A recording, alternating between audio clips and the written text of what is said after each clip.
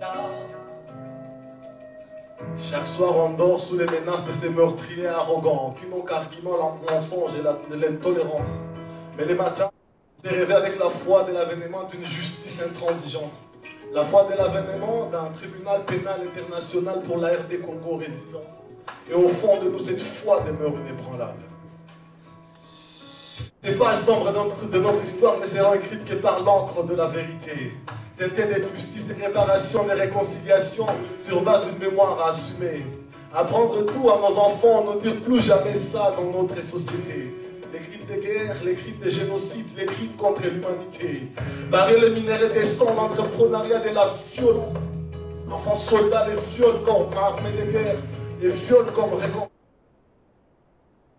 Indifférence avec son Nobel de la paix.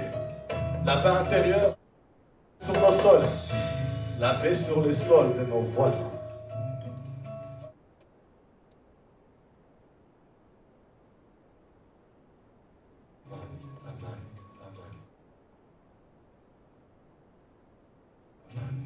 Vous pouvez faire ça avec moi, s'il vous plaît? Amen, amen, amen, amen, S'il vous plaît. Amen, amen. S'il vous plaît, applaudissez pour vous-même. Merci beaucoup. Moi, je chasse déjà. C'est le public qui est légitime. Si me demande de faire un autre morceau, je le fais ou. Vous voulez voir que je fasse un autre morceau Ouais C'est vrai? Oui. Merci beaucoup, c'était un grand plaisir.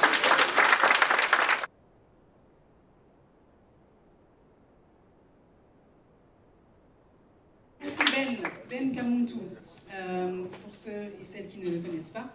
Donc, euh, euh, Benjamin Kamuntu euh, donc, connu sous le nom de Ben Kamuntu, est né sous les bruits des bottes, le crépitement des balles, détonation des tombes qui ont ravagé le Kivu, qui ravagent le Kivu depuis 1990. Il est indigné depuis son jeune âge. Ben milite pour la paix, combat la corruption et la mauvaise gouvernance et demande des comptes aux autorités de son pays. Il intègre le mouvement citoyen Lutte pour le changement, euh, la Lucha, en 2013. Ses prises de position et ses participations aux marches pacifiques lui ont coûté plusieurs emprisonnements et tortures. En 2018, il passe 60 jours en prison pour avoir exigé le départ de l'ancien président Kabila. Il est poète, fan de la lecture. Ah. Voilà, donc euh, Ben Kamuntu. Euh, si vous avez l'occasion de le suivre, on vous donnera de toute façon toutes les informations euh, par retour de mail. Merci beaucoup.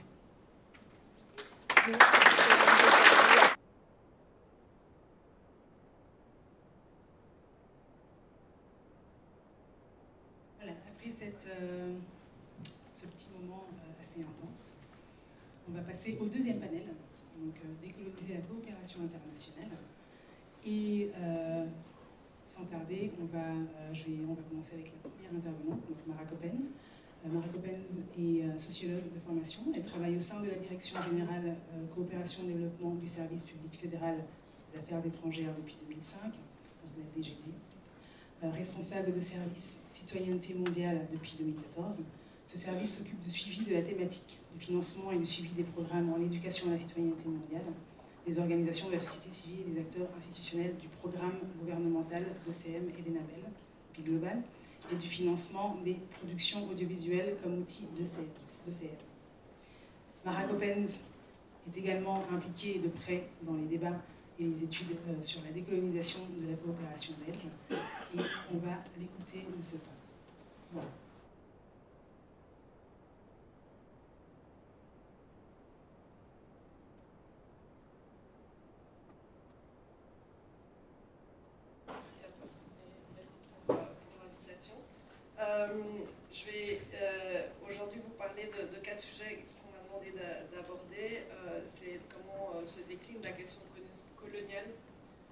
de la DGD, donc la Direction Générale de la Coopération et Développement, au sein euh, de la diplomatie de façon plus générale, au sein de l'éducation à la citoyenneté qui est plus spécifiquement au secteur, et ensuite de vous parler euh, de deux, études qui ont été faites pour justement euh, décoloniser la coopération au développement.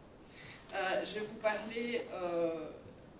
Je vais, vous parler comme quelqu'un qui travaille aux, affaires étrangères et qui suit un peu qui est en contact avec des informations, etc. Il n'y a pas une position vraiment encore, euh, je vais en parler, officielle par rapport à tout ça.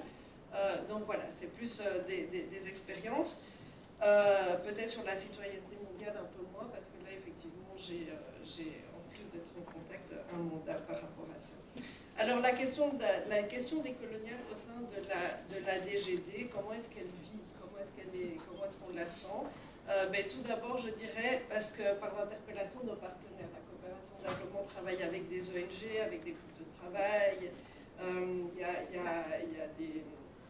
Et tous ces, partenaires, il y a Enable, il y a la coopération multilatérale, ils font... Euh, ils, ont fait ce débat au sein du secteur, ils ont fait des positionnements, ils ont fait des groupes de travail, ils ont publié des études, etc. il y a aussi, évidemment, beaucoup de chercheurs et de chercheuses actives euh, sur la question. Euh, parfois, c'est aussi des acteurs du, des partenaires du secteur qui demandent euh, des études à des chercheurs par rapport à tout ça. Et sur toutes ces choses, ben, on, a un feedback, on nous demande de nous positionner, on nous demande, comme aujourd'hui par exemple, de venir nous exprimer. et on doit aussi éventuellement, évidemment, accompagner toutes ces réflexions et les, encourager. Donc ça, c'est une façon. Ensuite, évidemment, il y a plein de réflexions à titre individuel au sein de la coopération développement, des collègues qui travaillent euh, dans les pays partenaires, mais aussi en Belgique, qui, de façon un peu dispersée, mais des fois qui se mettent euh, ensemble à réfléchir autour d'un livre, etc., qui discutent de ces questions-là. Euh, il y a évidemment les, débats internationaux en la matière. Black Lives Matter a, ravivé ces débats en 2020, mais donc le sujet est vivant dans d'autres forums auxquels collègues participent, et donc on est confronté à ces questions-là. Il y a eu euh, en 2018 un momentum important qui était la rénovation de, l'Africa Museum, euh, qui, a, vraiment mis euh, au devant de la scène pas mal ces questions. Mais je dirais que la première réelle appropriation, disons, institutionnelle de la question de la décolonisation, de la coopération, du développement, ça a été la demande de ces deux études fin 2020, où on s'est dit, voilà, comment vraiment commencer le débat. Et sur ces études, je vais revenir tout à l'heure, donc je ne vais pas m'étendre. Voilà.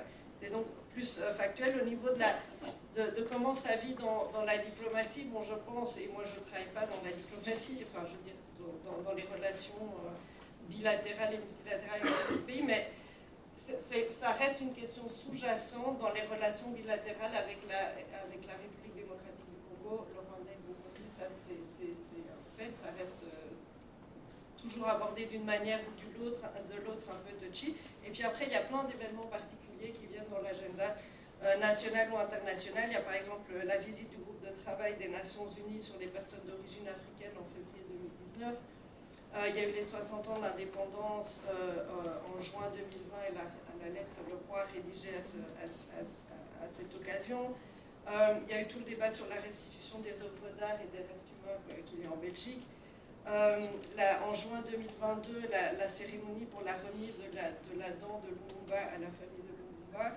Euh, évidemment, la commission parlementaire sur le euh, passé colonial. Il y a aussi les, excuses du gouvernement hollandais des Pays-Bas sur le passé esclavagiste des Pays-Bas. Encore beaucoup plus récemment, le 21 mars, c'était la journée internationale pour l'élimination de la discrimination raciale. À chaque fois qu'il y a ce genre d'événements qui viennent sur l'agenda, en général, euh, il y a des instructions officielles au poste qui sont envoyées de la diplomatie en disant voilà, ça c'est les messages à faire passer, euh, quand il y a une interpellation, voilà comment répondre, voilà ce qu'on a travaillé, voilà ce que la Belgique a fait, etc. Et puis il y a aussi évidemment des informations officielles qui viennent des postes, de nos ambassades, vers l'administration centrale en disant ben voilà, dans tel pays, sur la question des coloniales, il y a eu ça d'important qui, est arrivé et qui font des petites euh, analyses. Euh, donc voilà comment, d'après moi, ça vit dans, la diplomatie. Euh, c'est une question assez délicate parce que le lien euh, entre la diplomatie et la coopération développement est évidemment très fort, mais on a deux ministres différents et on a deux ministres en l'occurrence qui ne sont pas du même parti. Je ne sais pas si j'ai eu depuis que je travaille là une fois parti à ces deux portefeuilles-là. Mais donc ce n'est pas un thème, c'est déjà un thème difficile en soi, mais je pense que c'est un thème euh, difficile à, s'accorder, qu'il est vraiment très sensible. Euh, et, euh, dans l'accord de gouvernement de, ce gouvernement, exemple, on ne mentionne la, République démocratique du Congo qu'une seule fois, euh, et la décolonisation n'est pas mentionnée. On dit juste que voilà, l'Afrique des Grands Lacs occupe une place centrale et que le gouvernement fédéral soutiendra le travail de mémoire, singulièrement la mise en œuvre de la résolution métisse et de la commission Congo Histoire coloniale. Voilà, donc c'est un peu peu pour, disons, pouvoir imprimer une ligne directrice euh, forte euh, à ce chantier-là au sein de la diplomatie. Euh, maintenant, par rapport à l'éducation à la citoyenneté mondiale, donc la, question a été soulevée, disons, de façon formelle la première fois dans le cadre d'une planification, enfin, j'ai pas envie de rentrer dans mon, jargon, mais d'un cadre euh, pour l'éducation à la citoyenneté mondiale qui, donne une direction, disons, au, programme des, acteurs qu'on finance en citoyenneté mondiale pour les années 2017 à 2022. Et dans ce cadre, on remarquait qu'il y avait une très forte absence des diasporas euh, dans euh, les partenaires et les publics de la citoyenneté mondiale. mais aussi que les partenaires internationaux et leur expertise ne sont pas du tout mis à l'honneur ou pas suffisamment à l'honneur en citoyenneté mondiale. Et donc il y a tout un trajet d'amélioration collective qui, impliquait l'ensemble des acteurs confinance en citoyenneté mondiale qui s'est mis en place par rapport à ça. Et entre-temps, il y a eu le Black Lives Matter et c'est devenu un trajet décolonisation. Donc il n'avait pas vraiment au début, on parlait du Sud dans le Nord. Euh, et alors, depuis la citoyenneté mondiale, euh, ça, euh, donc, en parlant décolonisation, du coup, on a parlé de diversité au sein des équipes, des organes de gouvernance, de politique de rage, de communication, etc. Et peu à peu, ça a complètement débordé la citoyenneté pour toucher euh, le secteur dans sa globalité. Parce que euh, pour cette question-là, comme pour d'autres, la citoyenneté mondiale, c'est un, peu comme, euh, un miroir, parce que le CM pousse, enfin la citoyenneté mondiale pousse à la cohérence des politiques. Je parle par exemple classiquement des politiques commerciales, agricoles, diplomatiques, migratoires par rapport à nos objectifs de développement, mais finalement elle a aussi le potentiel de dénoncer des incohérences propres à la coopération au développement euh, en tant que telle. Quoi. Et donc, euh, quand elle est incohérente avec ses objectifs, quand elle, elle questionne le modèle des pays dominants qui est tellement exporté avec la coopération, euh, et aussi d'être en contact avec des initiatives, puisque la citoyenneté mondiale promeut un engagement et visibilise un engagement citoyen, et ben elle permet aussi de mettre à l'honneur des initiatives, des initiatives intéressantes, alternatives, ici ou ailleurs, pour justement répondre beaucoup mieux euh, aux défis mondiaux euh, actuels. alors, donc mon service a commencé à suivre la thématique dans le cadre de, ces réflexions-là. On, suit aussi plus particulièrement des dossiers de certaines ONG qui sont spécialisées sur ces questions de, de décolonisation, donc c'est aussi pour ça qu'on est peut-être plus au fait. Et alors on finance aussi tous les années des productions audiovisuelles sur euh, les défis mondiaux, et on a été très vite confronté aux stéréotypes dans les médias euh, quand on parle de diversité. Et donc on a aussi euh, mis en place, intégré une expertise genre et diversité dans notre jury pour justement avoir ces lunettes, et on a aussi imposé des, formations obligatoires aux maisons de production qui allaient justement proposer des projets qui parlaient de de ces questions euh, mondiales. Et alors, on a aussi participé à la mise sur pied et au suivi des études dont je parlais tout à l'heure et sur lesquelles donc, je vais maintenant revenir.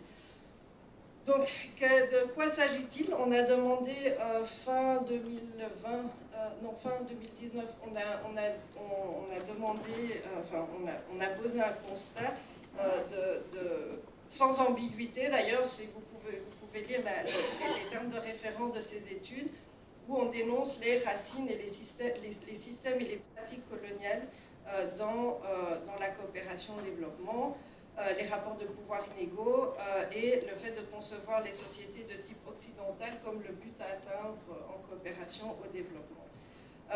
Et, et, donc malgré les différentes avancées internationales ou le fait de passer des objectifs du millénaire aux objectifs du développement durable, etc., malgré tous ces, beaux principes qui sont pourtant, euh, euh, soi-disant, nos, lignes directrices depuis longtemps, finalement, la coopération de développement, euh, en plus d'avoir un, colonialisme institutionnel figé dans ses structures, procédures et relations de pouvoir, c'est aussi un, comportement au jour le jour et des, même des, actions personnelles.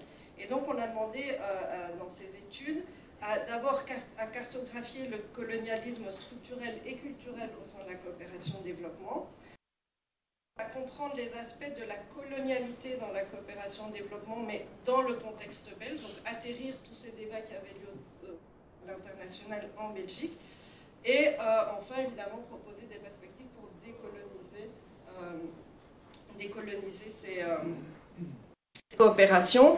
Euh, donc, on a, euh, il y avait des études on a demandé des études documentaires, de, de consulter évidemment l'ensemble des acteurs de la coopération, aussi bien en Belgique qu'à l'étranger. Et on avait fait une mention particulière de comment, à quoi pourrait ressembler une coopération développement décolonialisée dans le cadre d'une diplomatie, enfin, ou des affaires étrangères. Donc ça, c'était... Euh, voilà. Donc, entre-temps, on a eu les rapports.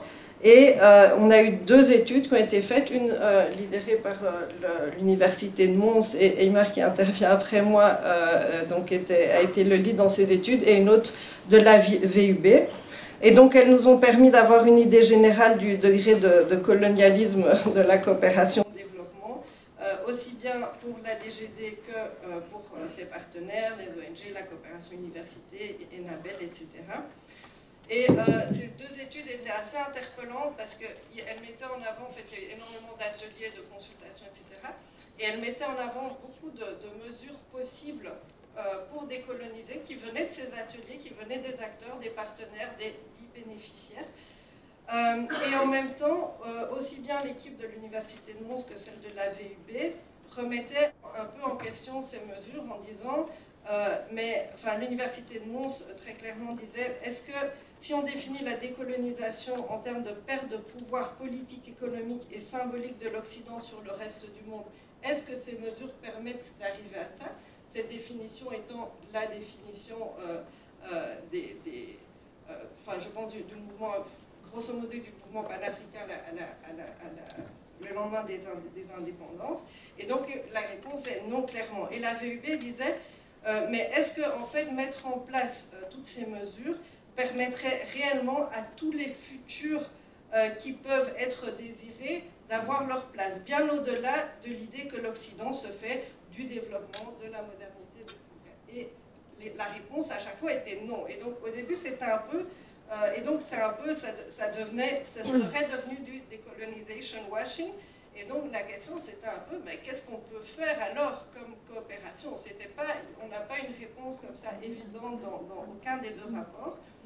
Euh, parce que voilà, est-ce que nous, en étant euh, est-ce qu'on peut en fait entamer une démarche décoloniale? C'est un peu la question de, l'œuf et de la poule. Est-ce qu'en fait on est légitime à le faire, mais alors qu'on ne fait rien? Donc c'était un peu, un, peu, euh, un peu confrontant. Et donc pour euh, sortir un peu de l'imbroglio, je me suis inspirée du, débat sur l'égalité entre les hommes et les femmes. Les femmes sont à l'origine du féminisme, euh, sans aucun conteste, euh, et elles ont mené des, combats super importants pour arriver à ce, à quoi on est arrivé, mais elles ont pu compter sur, des alliés hommes, et, les hommes doivent être des alliés. Et donc, et donc on, parle d'ailleurs maintenant beaucoup dans le féminisme des nouvelles masculinités. Et donc, est-ce que la coopération au développement peut être un allié dans la décolonisation Et est-ce qu'elle peut prendre des initiatives? Moi, personnellement, je pense que oui, euh, qu'on peut être légitime par rapport à ça. Et la deuxième question, c'est aussi de dire euh, le patriarcat, ça limite pas seulement les femmes, mais ça limite aussi les hommes dans le sens qu'il les confine à certains stéréotypes et ne fait pas honneur aux possibilités différentes d'être homme. Et donc, la question aussi pour moi, c'est est-ce que c'est pas la même chose pour la pensée coloniale? Est-ce que quand on pense de, façon coloniale, est-ce qu'on ne se réduit pas nous-mêmes à penser nos futurs désirables de façon étriquée Est-ce qu'en en fait, en étant nous-mêmes plus décoloniaux, on n'enrichit pas euh, nos, possibles euh, définitions du progrès, etc., euh, pour justement faire face aux enjeux mondiaux qui sont les nôtres? Par exemple, est-ce que notre rapport à la nature nous permet vraiment de combattre le changement climatique? Ou est-ce qu'il faudrait s'ouvrir à d'autres visions pour justement enrichir nos solutions Et donc je pense que de un, on peut être légitime quand même à faire quelque chose, et de deux, on, y a simplement euh, intérêt. Euh, réflexion sur ces études, parce que j'ai déjà dépassé mon temps, c'est que les études posent effectivement la nécessité, ça a été rappelé dans le premier panel aussi, de s'engager dans des mesures structurelles et géopolitiques de décolonisation au niveau macro. mais on a vu les rapports de force actuels de, dans, dans, le refus du Parlement, enfin ils ne sont pas arrivés à accepter les recommandations de la commission parlementaire. Donc, vu ces rapports de force actuels, euh, on on peut pas s'engager à un niveau aussi macro en espérant avoir des résultats à court terme. Donc, c'est un combat à mener, mais est-ce que ça doit, nous dédouaner de quand même maintenir nos efforts au, au niveau plus micro et mezzo, dans l'amélioration de nos pratiques, de nos outils, la qualité de nos partenariats, etc. Ben, moi, je pense que quand même, il faut qu'on le fasse et que c'est pas pour ça qu'on fait de, du colonization washing, il faut qu'on continue aussi à, agir à ce, niveau-là. Voilà, juste je finis pour la, suite de cette étude. Donc les résultats ont été présentés au SPF et à tous nos partenaires en décembre 2022. Il y a eu un grand débat. Ensuite, on a élaboré des recommandations pour la DGD de comment lancer officiellement ce chantier de la décolonisation de la coopération développement. Et euh, ces recommandations ont été présentées à l'ensemble du personnel de la DGD en février 2023 récent et on attend encore donc euh, euh, la suite de ce qui sera fait de ces recommandations. Merci.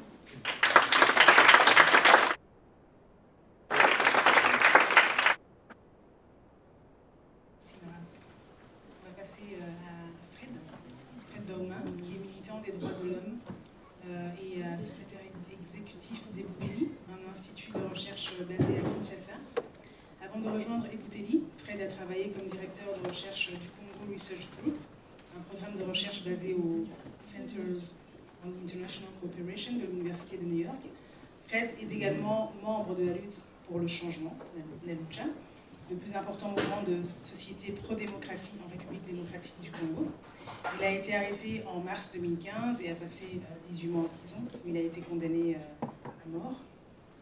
Euh, mais il est là, il est, parmi Amnesty International a déclaré Bauma euh, prisonnier d'opinion et a décerné à Lucha euh, le prix ambassadeur de la conscience en 2016. Fred est également membre cofondateur d'Afriki, un réseau de plus de 30 mouvements d'Afrique et de sa diaspora. Fred coanime le podcast Ukombozi, un podcast sur les mouvements sociaux africains et les mondes qu'il tente de créer. Fred.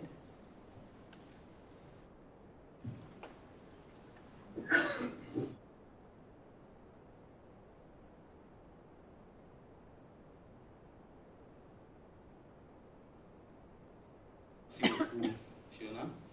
Je peux vous assurer que je suis encore en vie. Euh, et que je n'avais pas encore été condamné à mort. Mais, les charges contre moi, euh, je risquais la peine de mort et les charges n'ont pas été euh, abandonnées. Donc, j'ai le plaisir de jure de ma liberté provisoire et autant qu'elle est provisoire, autant en profiter merci pour cette invitation.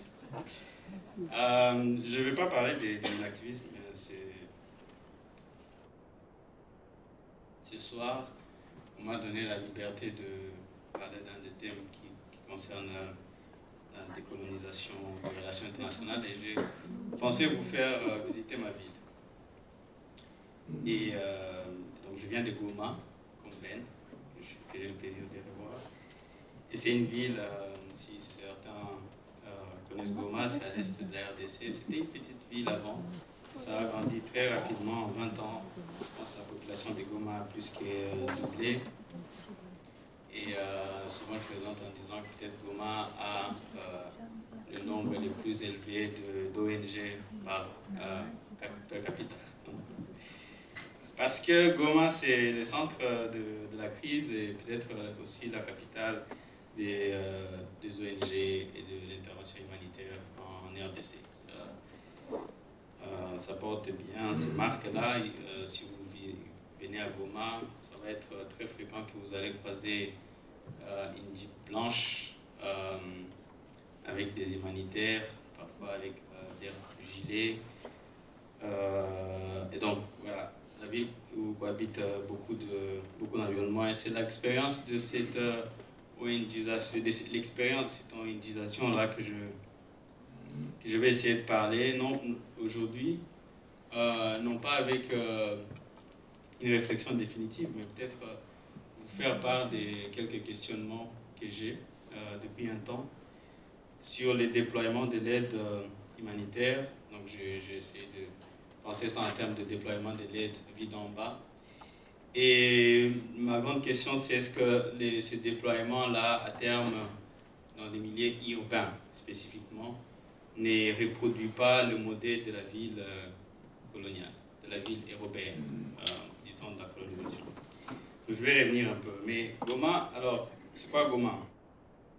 Goma, euh, avant, c'était une petite ville donc de, quelques centaines de milliers d'habitants. C'est petit pour l'échelle de la RDC et euh, qui a connu beaucoup de crises entre 1996 et un peu avant, 1993, disons, jusqu'à aujourd'hui. On a encore des camps de réfugiés euh, déplacés aux abords de la ville. L'expérience de ces différentes crises a fait que, et, et, le fait que Goma était pendant un temps la capitale de la rébellion, a fait qu'il y ait beaucoup d'ONG internationaux qui se déploient, des ONG humanitaires qui se déploient dans la ville et qui opéraient euh, ou intervenaient dans les milieux euh, ruraux depuis la ville où euh, se situaient souvent les quartiers généraux. Et donc au, fil des ans, la vie et l'économie de la ville de Goma est plus ou moins s'est constituée autour de ces ONG, les booms, les, les booms immobiliers, donc les, des, des, infrastructures, les commerces, euh, la restauration, l'industrie de la restauration, c'était euh, poussé par la pression euh, humanitaire. ça a été aussi un grand facteur d'emploi pour beaucoup de jeunes qui quittaient l'université et, d'autres personnes qui essayaient de, de s'adapter. Il y a des nouveaux quartiers qui sont et l'humanitaire est devenu quelque part l'État, dans le sens où il euh, pourvoyait de services publics et tout ça, est très bien connu et, et bien documenté. Mais la, la question que j'essaie de... Mon questionnement ce soir, c'est de savoir où sont ces humanitaires-là, comment est-ce qu'ils s'adaptent à leur environnement et comment finalement ils vivent la ville dans laquelle euh, ils se sont installés. C'est là que je commence à trouver quelques problèmes euh, tout de même, et les liens avec euh, la vie coloniale.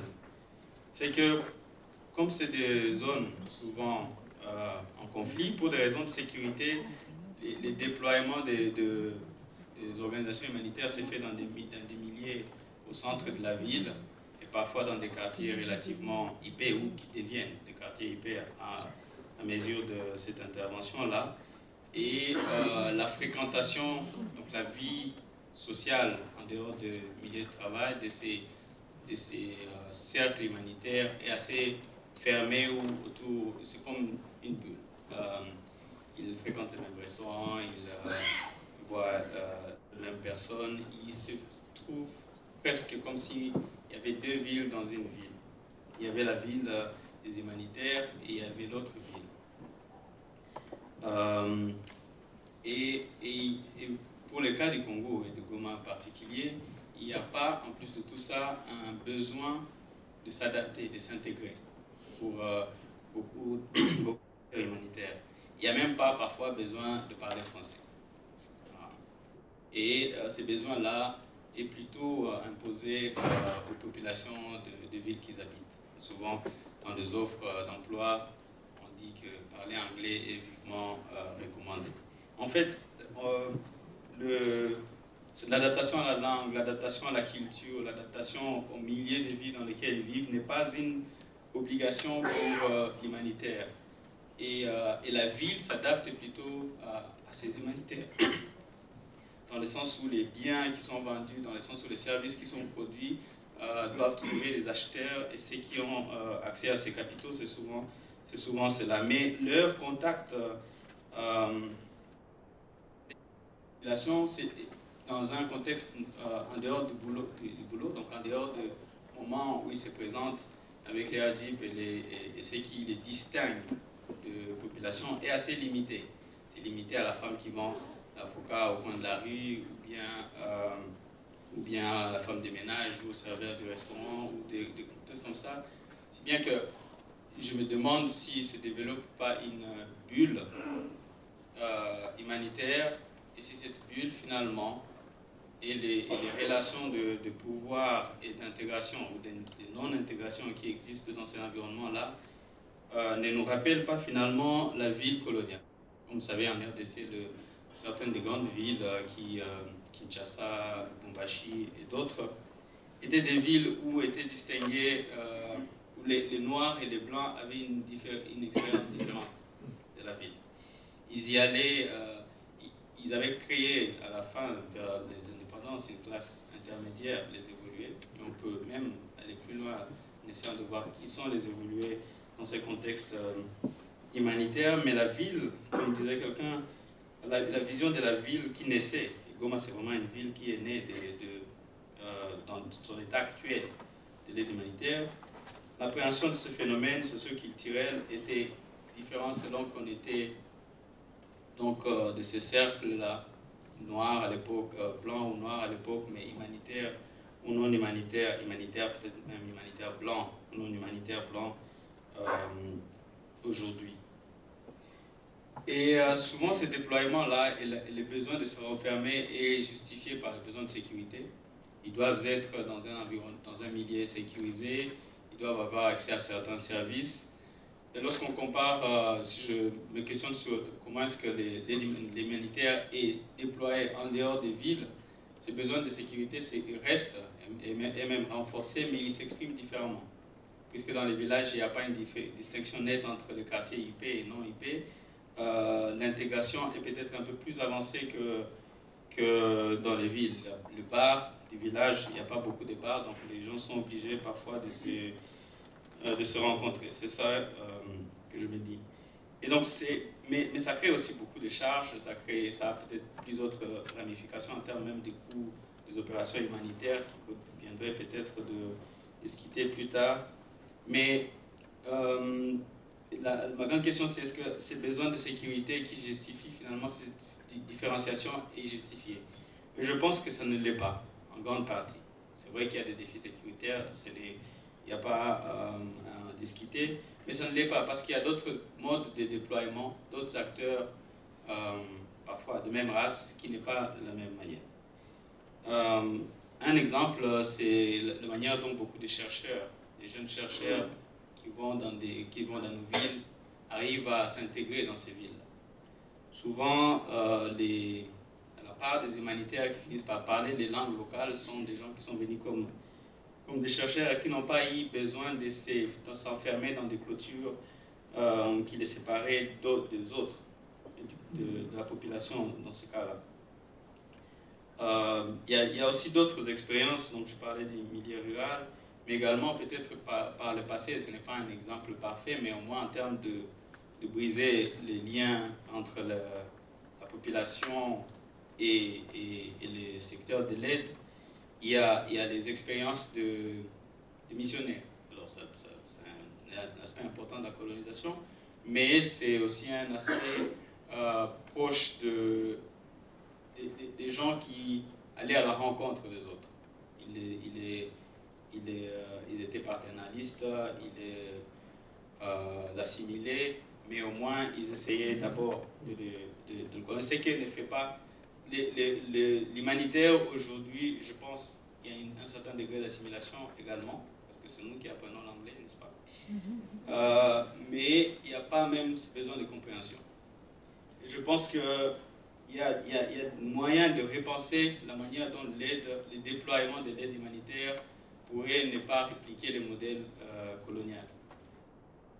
Et peut-être que ça serait moins coûteux pour, euh, pour beaucoup C'est ça la, grande question que je, ou la petite question que j'essaie de, me poser. Et j'espère peut-être que ça enrichira euh, des débats aujourd'hui et, plus tard. Merci.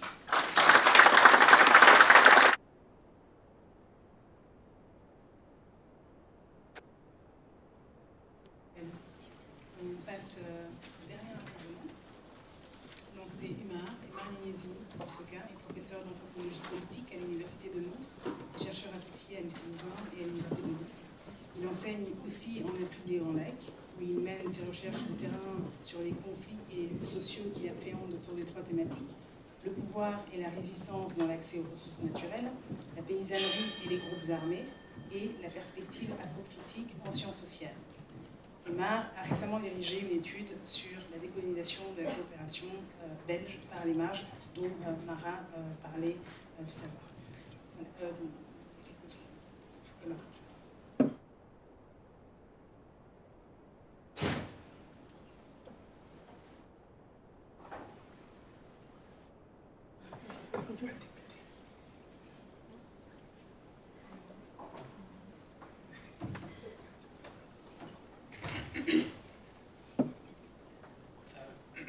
Merci beaucoup.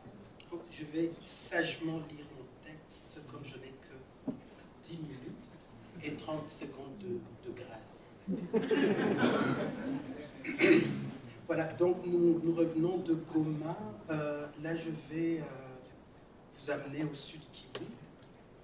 Euh, en septembre 1932, des milliers de paysans congolais qui vivaient à Kamituga, dans l'est de la RDC, se réveillent un bon matin pour découvrir que leur terre ne leur appartient plus.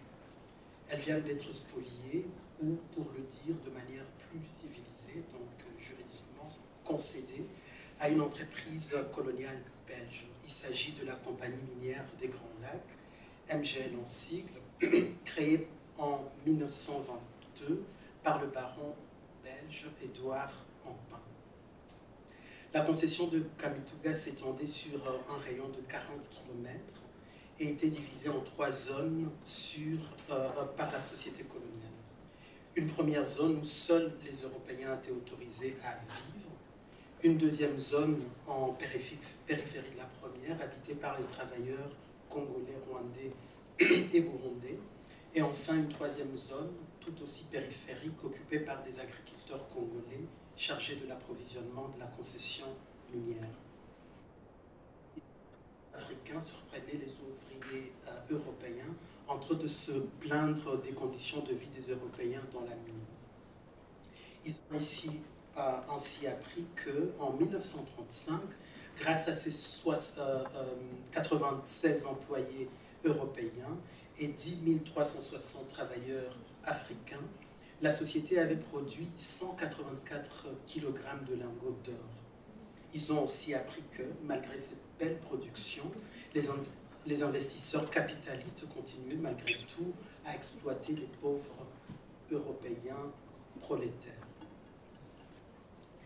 C'est ainsi que les travailleurs africains de la société minière ont été initiés, malgré eux, aux bases de la critique marxiste du capitalisme extractif comme tous les peuples colonisés, ils y ont trouvé un cadre adéquat pour comprendre les mécanismes à la base de l'expropriation de leurs terres, la destruction de leur territoire de vie, l'aliénation de leur travail, la production de l'injustice et d'inégalité sociale, la dégradation de leur corps et bien sûr le rôle du droit positif et du droit international dans la légitimation de toute cette violence est devenu de plus en plus à travers ce. Et pourtant, pour les travailleurs africains, ces critiques marxistes soutenues par les travailleurs belges étaient incomplètes. La raison en est simple. Mm. Ce cadre marxiste ignorait complètement le fait que ce capitalisme était également euh, basé sur la différenciation raciale. En effet, dans la concession minière, tous les travailleurs étaient euh, certes exploités, mais en plus, les travailleurs africains n'avaient pas le droit de vivre dans le centre, comme disait Fred tantôt, et de jouir des avantages que cela octroyait. Ils n'avaient pas les mêmes salaires que les Européens, ils n'avaient pas de protection sociale. Ils étaient noirs. Ils n'étaient pas humains de la même manière ou au même niveau. Il suffisait donc d'observer la vie de ces Noirs pour se rendre compte des limites des discours marxistes l'unicité du prolétariat. Pareil d'ailleurs euh, pour les discours libéraux soutenus par les dirigeants de l'entreprise sur l'égalité de la race humaine. Il suffisait d'observer le partage inégal de vulnérabilité parmi les travailleurs de l'entreprise pour se rendre compte comment la parole ou le silence du droit renforçait un système colonial qui faisait des blancs des êtres humains au sens plein du terme et les noirs des riens. Cette histoire nous permet de comprendre pourquoi, dans les perspectives de peuples anciennement colonisés, parler du décolonial, c'est nécessairement parler de race, comme semblait l'insinuer a tantôt. C'est parler de cette catégorie de race qui transforme le théorie universaliste eurocentrique de la domination et qui tente de penser la condition humaine à partir du particulier. Elle montre que, cette histoire donc, nous avons besoin de ces perspectives pour pouvoir opérer un virage décolonial dans notre manière d'analyser les rapports entre le droit international et la domination, que ces rapports s'appliquent aux questions de migration, d'écologie ou encore de développement international. En d'autres termes, j'essaie de montrer ici que, du point de vue décolonial, penser les migrations, l'écologie ou encore le développement à partir du droit international, c'est forcément intégrer de manière pragmatiste la, catégorie race dans nos analyses de la domination.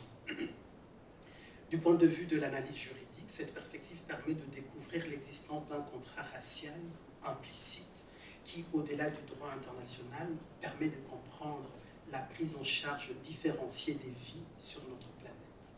Dans cette prise en charge, le droit et le développement international jouent souvent un rôle de légitimation et de préservation du contrat racial qui, du point de vue des perspectives de Sud, ne peut être réformé. En effet, en parlant de contrat racial tacite, Fanon disait, je cite, Faire sauter le monde colonial est désormais une image d'action très claire, très sensible et pouvant être reprise par chacun des individus constituant le peuple colonisé.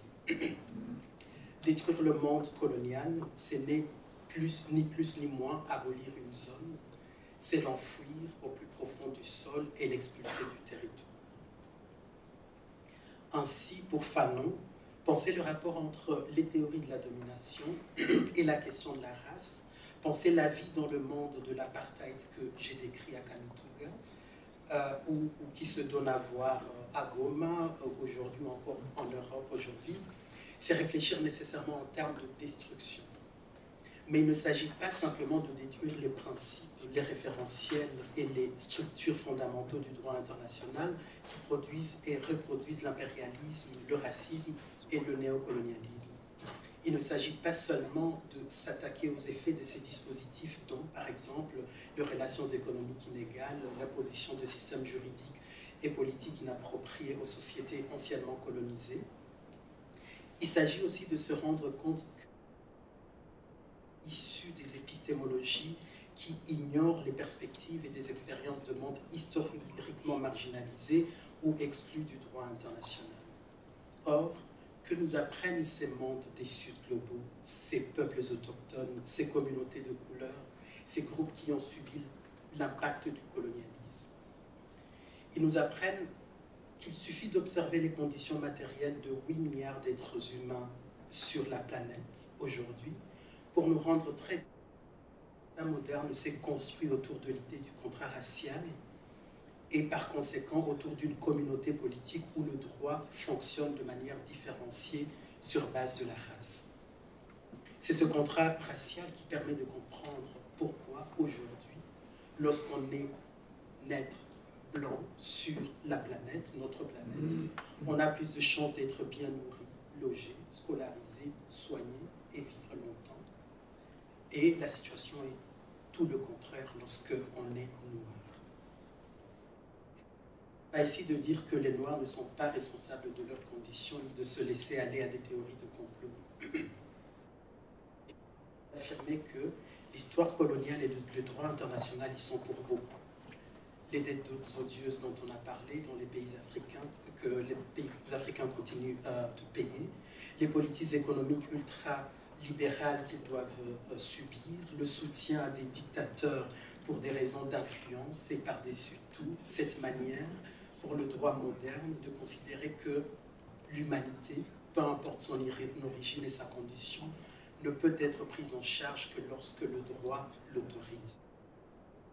En réalité, comme le montre par exemple la situation catastrophique des réfugiés non blancs en Belgique et en Europe, il y a lieu d'affirmer que dans l'État moderne du type occidental, lorsque les blancs disent humanité, ils veulent dire l'humanité des blancs d'abord.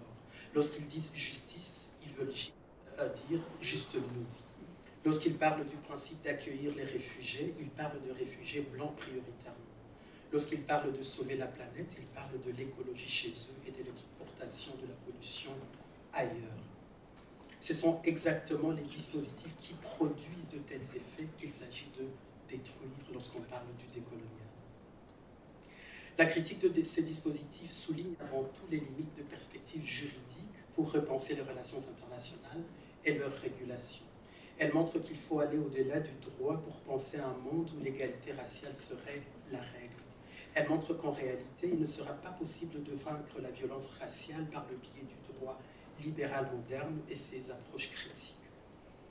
En ce qui concerne le droit du type libéral plus spécifiquement, comme l'a montré la théorie critique de la race dans la, critique, euh, euh, dans la théorie critique du droit, le libéralisme n'a jamais été une solution à, à, ce racisme structurel. En fait, l'État libéral et son droit n'ont jamais cessé de faire des Noirs des instruments des fantasmes et de l'épanouissement des Blancs et des autres non-blancs. Le travail délocalisé quasi gratuit pour euh, nos profits, la pollution des territoires de vie par l'extraction des mines, des matières premières pour nos portables, euh, l'expédition de nos déchets dans les Suds pour notre confort, etc sont autant de réalités qui, par leurs effets, font des anciens colonisés des exceptions à l'humanité. C'est pourquoi, pour ces Noirs, la fin de la violence raciale correspond nécessairement à la fin du monde tel que En d'autres termes, la fin du contrat racial est condition par la destruction de l'idée même de la communauté politique moderne qui institue des ayants droit, généralement blancs, et des laissés pour compte, souvent noirs. Ainsi, contrairement aux penseurs occidentaux de la relation entre le droit et la violence tels que Walter Benjamin, le droit seul n'est pas en cause. C'est également le fonctionnement général de l'État moderne du type occidental qui pose un problème. Euh, dès lors, si euh, euh, Benjamin envisageait la destruction de la violence des hommes dont le droit est complice dans l'État moderne, il s'agit du point de vue, dans le point de vue décolonial, de détruire le contrat racial. Cela implique le démantèlement de l'idée de communauté des sujets de droit au nom de la promesse de justice et de dignité à laquelle aspirent ceux qui, même vaincus par elle, restent debout face à l'histoire. Ces damnés de la terre qui n'ont jamais cessé de murmurer à la suite de Fanon qui, en parlant de l'antisémitisme au, au non-juif, a déclaré Quand vous entendez de mauvaises choses sur les Juifs, prêtez l'oreille, on parle de vous. Je parle de l'humanité, comme Achille mais je parle du devenir.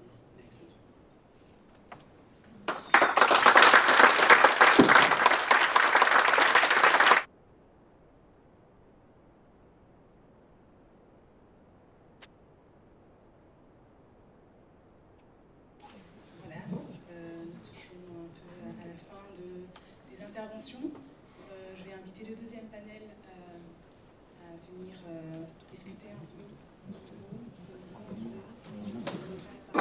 public euh, qui a sûrement des questions.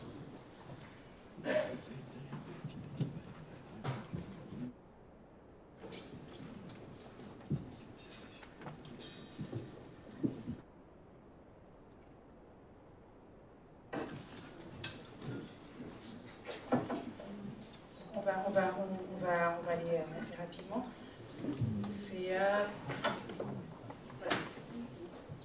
après avoir entendu euh, cette euh, dernière présentation, je vais peut-être revenir à une question très basique et enfin, Mara l'avait évoqué un peu en parlant de coopération développement. Est-ce que, en entendant tout ce qui a été dit, est-ce qu'on est peut décoloniser la coopération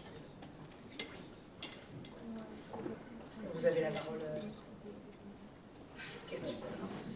Euh, bon, après le texte Weber, ça peut dire Euh, la coopération développement telle qu'on la connaît, clairement non. Je veux dire, euh, je pense que oui, il, faut, il faudrait réinventer quelque chose de tout à fait autre, et je pense que quitte à le réinventer, si jamais on y arrive un jour, autant lui changer de nom euh, et arrêter avec, avec le terme développement, bon, même si on peut dire coopération internationale. Mais disons, oui, non, je pense qu'une coopération au développement euh, décolonisé ressemblerait tellement peu à ce qu'on entend aujourd'hui par coopération au développement euh, que moi, personnellement, euh, je pense que la réponse est non. Il n'y a pas beaucoup de chance.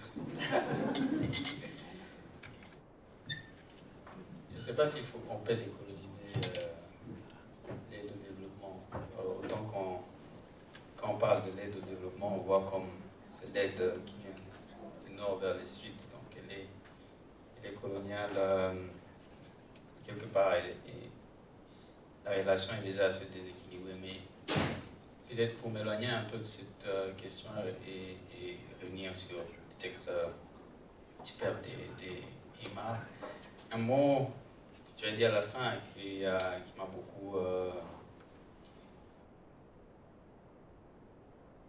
de monter. Euh, et je pense, ça m'a fait penser à, à, une, euh, une, idée de, de Audrey Lorde qui a distinguait la, les, outils du maître et la maison du maître. Euh, et souvent les changements peuvent être conçus conçu comme une façon de bouger les, outils du maître plutôt que de démonter la maison du maître. De, on dit euh, dismantle the master's house. Euh, et je pense que l'effort, ça doit être courageux euh, et ça ne peut pas venir du gouvernement. Mais ça doit être de démonter la maison du maître, de démonter de différentes manières et euh, quelque part, ma, ma, mon intervention sur l'aide humanitaire, c'est un peu dans la logique des outils de maître. Euh, mais l'effort doit être, je pense, pour sortir, pour décoloniser, si possible, les relations nord-sud, pour ne pas parler de développement, il faut avoir le courage de démonter euh, cette maison-là. À quoi ressemblera la nouvelle maison avec de nouveaux types de relation, je pense que c'est quelque chose euh, qui conviendrait à, définir. Et c'est un courage peut-être qui ne pourrait venir que d'un choc, malheureusement. Parce que ici, de, de coopération au niveau, euh, au niveau du pays, non? Mais ici, on les, les, Nations Unies, les systèmes des Nations Unies, c'est un, autre niveau de, cette maison de maître et des outils qui d'ailleurs échoue de se réformer depuis très longtemps. Donc, jusqu'où on, devra euh, bouger les outils de, du maître et à quel moment est-ce qu'on commence à les démonter. Et je, je pense qu'on ne devrait pas attendre que nos gouvernements ou les assemblées de nos gouvernements s'y mettent. Ça viendra d'en bas. Ça viendra de nous.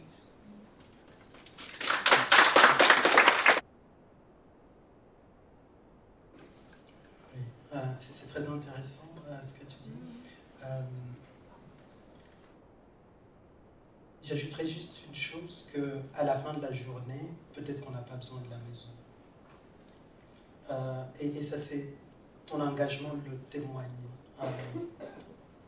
ce que vous faites, parce qu'il faut vraiment le, le, rendre visible, vous avez refusé Lucha, etc., d'aller dans ce schéma-là. Et vous vous êtes dit, nous sommes là, nous parlons de nos conditions de vie On n'a pas besoin de Bruxelles, des GD, Union européenne, etc., des ONG pour venir nous dire que nous avons des problèmes et que nous devons nous organiser. Et je ne pense pas non plus que vous étiez dit au départ, tiens, on veut faire différemment. Vous avez dit, euh, euh, on, a des soucis, qu'est-ce qu'on fait? Et vous avez commencé à faire des choses. Euh, le, plus gros problème de se référer à ce que les penseurs de la tradition euh, euh, radicale noire disaient, c'est à chaque fois qu'on se réfère euh, à ce monde de blanc, on est dans un certain mimétisme et on commence à faire les choses euh, d'une certaine manière et pas à s'occuper simplement de sa, de sa petite vie. Ça fait plus de six siècles que le développement existe. Même dans les plantations coloniales, ça existait le développement. Il, fallait faire de sorte que le noir ne meure euh, lui faire miroiter euh, qu'il peut se libérer et devenir comme un blanc. Cette idée évolutionniste, son gros problème, c'est que c'est toujours le, ce monde des blancs qui est la référence. Et malheureusement, et, comme disait Mara d'ailleurs, ça nous, ça nous prive notre capacité à nous imaginer d'autres possibilités, à la fois pour le maître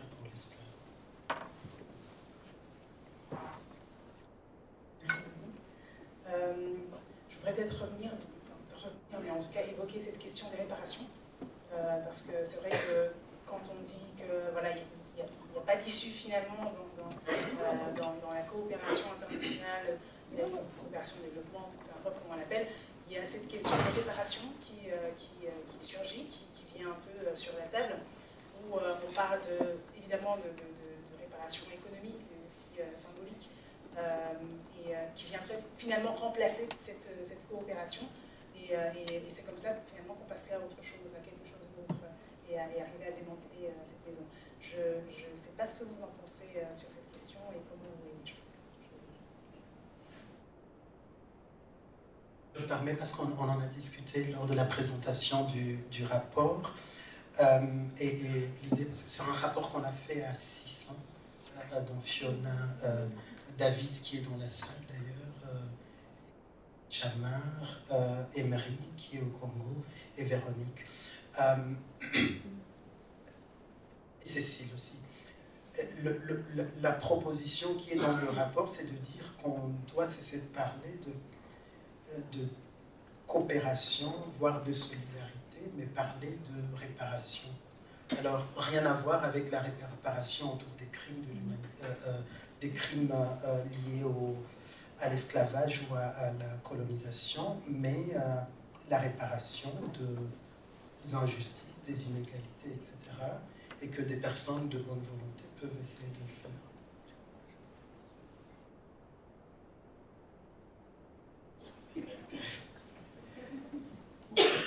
Sais pas. Et peut-être je suis un peu confus parce que il y a quelques mois, je pense on parlait à Fiona, j'avais rencontré à Kinshasa la commission belge qui travaille sur les questions de réparation. Et il me semblait que l'idée était de substituer une, des idées, je pense, était de substituer la coopération à la réparation en parlant colonisation. Et euh, je pense que je m'approche plus de ce que Emma dit en, en pas seulement au euh, de la colonisation. Mais, mais, il me semble que lorsque ce débat-là, j'entendais des parlementaires belges, il est lié à la coopération, et à la, à, la, à la colonisation. Et je pense que ça, c'est très problématique. C'est très problématique parce que c'est le Nord qui définit déjà les termes de cette, euh de, de, de, cette réparation. Il y, a, il, y a, il y a quelques années, on nous a ramené, euh, on nous a prêté statut de, de, euh, de ce qu'on nous avait pris. Et tout le monde. Certaines personnes étaient contentes à Kinshasa et beaucoup d'autres disaient Ouh là là, qu'est-ce qui se passe là? Est-ce que déjà c'est la vraie statue? Est-ce que c'est une prête? Euh, Mais, mais ça, quand c'est fait dans les termes définis euh, depuis le Nord, ça, la, la, coopéra la coopération ne peut pas être la réparation. Euh, il, faut, il faut la réparation parce que, parce que les crimes ont continué après la colonisation le, dans, dans, un système qui est resté inégalitaire. Mais je pense que ça ne devait pas être, la, euh, ça ne devait pas être les substituts de la coopération. Peut-être comme tu le disais, on n'a pas besoin de la maison. Peut-être déjà qu'il faut accepter que, ce ne devait pas être euh, la, euh, la coopération et penser euh, et, penser autre chose. Pour l'instant, je crois qu'il y a un. On est, fenêtre de, nos imaginations lorsqu'on met sur la table les, deux concepts. On, reste dans la possibilité de les comparer, comment est-ce que l'un peut remplacer l'autre. Peut-être qu'il faut déjà se départir d'un et d'oser imaginer à quoi pourrait ressembler euh,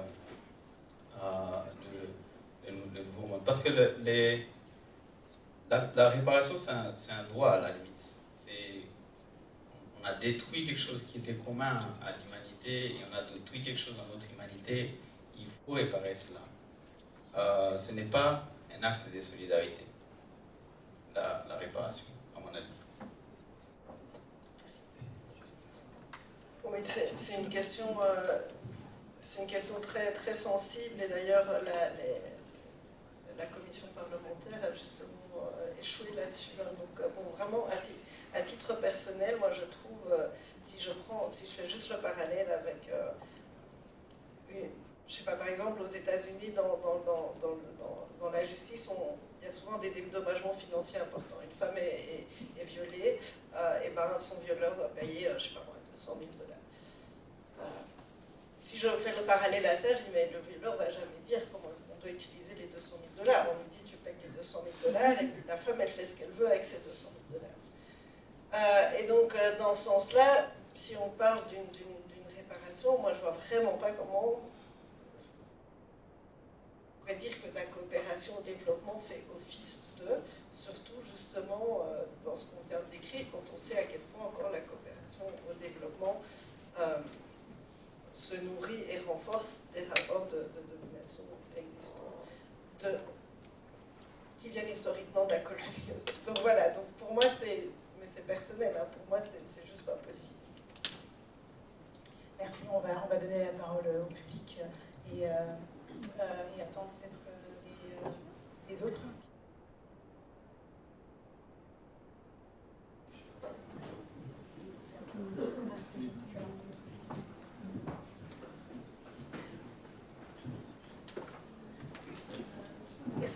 On va mettre des chaises en plus, comme ça euh, tout le monde vient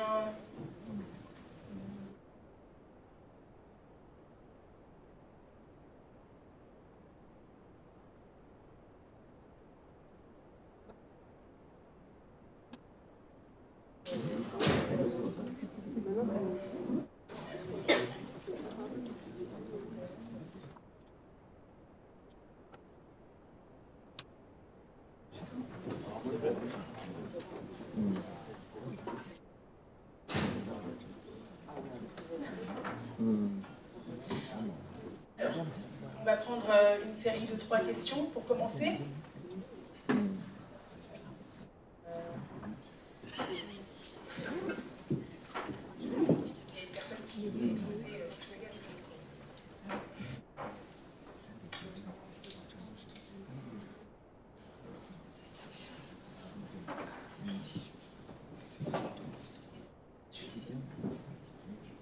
Alors, euh, peut-être avant de commencer à Juste un petit, euh, une petite euh, voilà, communication. On a beaucoup parlé et euh, l'idée c'est de vous donner aussi la parole, mais l'idée n'est pas non plus de la monopoliser, s'il vous plaît. Il y a beaucoup de gens qui veulent parler. Si on peut être bref, concis, et, ne pas avoir une énième présentation, ce serait vraiment intéressant. Mais vous entendre quand même. C'est vrai que quand on sont, voilà, ne, pas prendre beaucoup de temps, sinon je suis obligée de, de couper malheureusement. Mais voilà, allez à l'essentiel. Merci.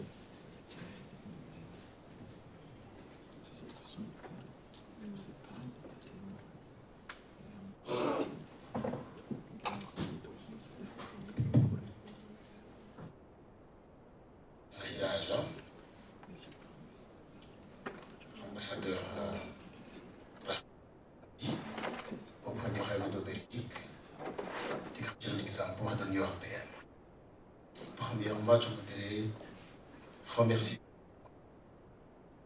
les organisateurs des téléconférences. Deuxième fois que je participe à une téléconférence, l'année passée j'ai été ici, c'était la question de l'histoire, avec beaucoup de professeurs d'université qui étaient là, c'était intéressant et ça nous a beaucoup construit. Et aujourd'hui, c'est un bon thème qui a été bien choisi, décoloniser les relations internationales. Permettez de félicitations, merci aux panélistes qui nous ont fait des présentations riches et qui nous ont touchés dans notre cœur. Eh bien, merci pour le thème choisi. Et à mon avis, si les relations internationales, c'est mon avis, étaient décolonisées, les questions de réparation, les questions de restitution, les questions de racisme auraient déjà trouvé solution finale et on aurait une coopération idéale qui ne serait basée que sur un partenariat économique gagnant-gagnant, basé sur la solidarité internationale et l'humanisme. Alors ici, j'ai une petite question évidemment. Malheureusement, quand on pose des questions au deuxième panéliste, j'étais en rappeler. Et ma question s'adresse d'abord à madame qui a présenté. Dernièrement, le gouvernement belge a mis en place une commission parlementaire sur le passé colonial. Tu as fait son travail avec beaucoup d'auditions, différentes personnalités. Il a quitté les bureaux pour les descentes dans notre sous-région, la RDC, le Burundi, le Rwanda. Au retour, la commission s'est mise ensemble pour la mise en commun de toutes les données. Mais malheureusement, la conclusion s'est à que de poissons qui concerne évidemment mal d'excuses ou réparations ou autres. Il y a un panéliste de Goma qui vient de dire que la coopération internationale ne peut pas être, je ne sais pas comment il a formulé, ne peut pas être une décolonisation, donc c'est différent. Parce que la réparation n'est pas aussi matérielle, elle est aussi psychologique. Notre frère Niénézi vient nous faire une présentation, une lecture de ce qui sont passés. C'est juste un exemple parmi plusieurs. Alors, je voudrais poser la question, est-ce que le gouvernement belge aurait-il l'intention de mettre en place notre commission ou non Ou on va s'en foutre? Parce que, évidemment, cette question, elle n'est pas résolue, malgré la coopération que vient de le dire, ça reste comme une bombe à dans la coopération internationale. Merci. Beaucoup. La deuxième journaliste, c'était à Madame, euh, à Madame Liane et, et. Merci. La parole aux autres. Merci beaucoup. Alors, il y a. Euh,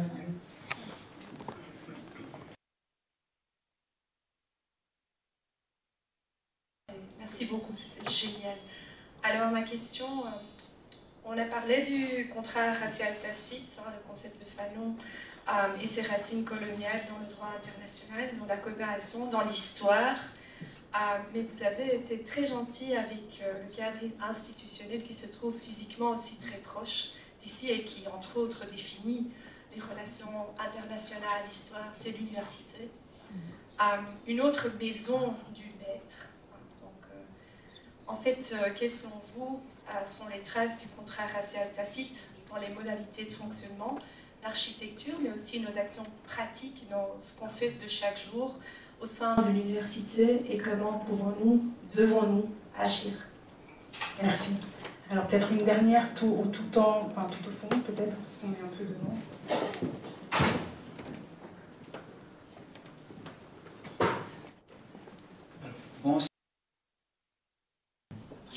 Armel Leclerc, doctorant en anthropologie au sein du laboratoire d'anthropologie prospective à l'UCLE. Euh, J'ai eu l'impression ce soir d'assister à un procès sur la colonisation en fait, et cela m'interpelle sur l'intérêt en fait de faire ce procès. Pour nous, Africains, et ceci n'est que mon avis, n'avons-nous pas plutôt intérêt à penser à une sorte d'appropriation Nous savons que la colonisation c'est une histoire, c'est ce qui s'est passé on l'a vécu et ça fait partie de notre histoire commune d'Africains et d'autres pays colonisés. Et donc, ne pouvons pas, euh, à partir de cette histoire, s'approprier des événements ou bien de, cette histoire pour penser notre développement. Surtout si on sait que dans la coopération, on parle d'échange, échange qui signifie respect entre les deux parties. Le respect ne peut être équitable si les deux parties ont un même niveau sur le marché. Nous, Africains, habituellement, négocions dans cette coopération euh, dans une perspective, je dirais, un peu euh, pas au même niveau, disons-le, C'est ça en fait. Dans une perspective euh, de la main qui reçoit et de la main qui donne. À ce niveau, je pense que nous parlons de coopération. Et à mon avis, je pense qu'il est plutôt important, et c'est peut-être ce qu'on va discuter, de penser à une sorte de réappropriation de ce passé colonial pour penser le développement au lieu de toujours euh, s'attarder à cette décolonisation qui, à mon avis, est une utopie. Merci. C'est euh, réponse et ensuite on fera un séminaire. Est-ce qu'il y en a parmi vous qui veulent prendre la parole Je sais que c'est adressé euh, directement à Mara, mais euh, enfin, les autres questions concernent tout le monde, je pense. Oui, euh, par rapport à la première question, euh, on me demande de répondre comme. Euh,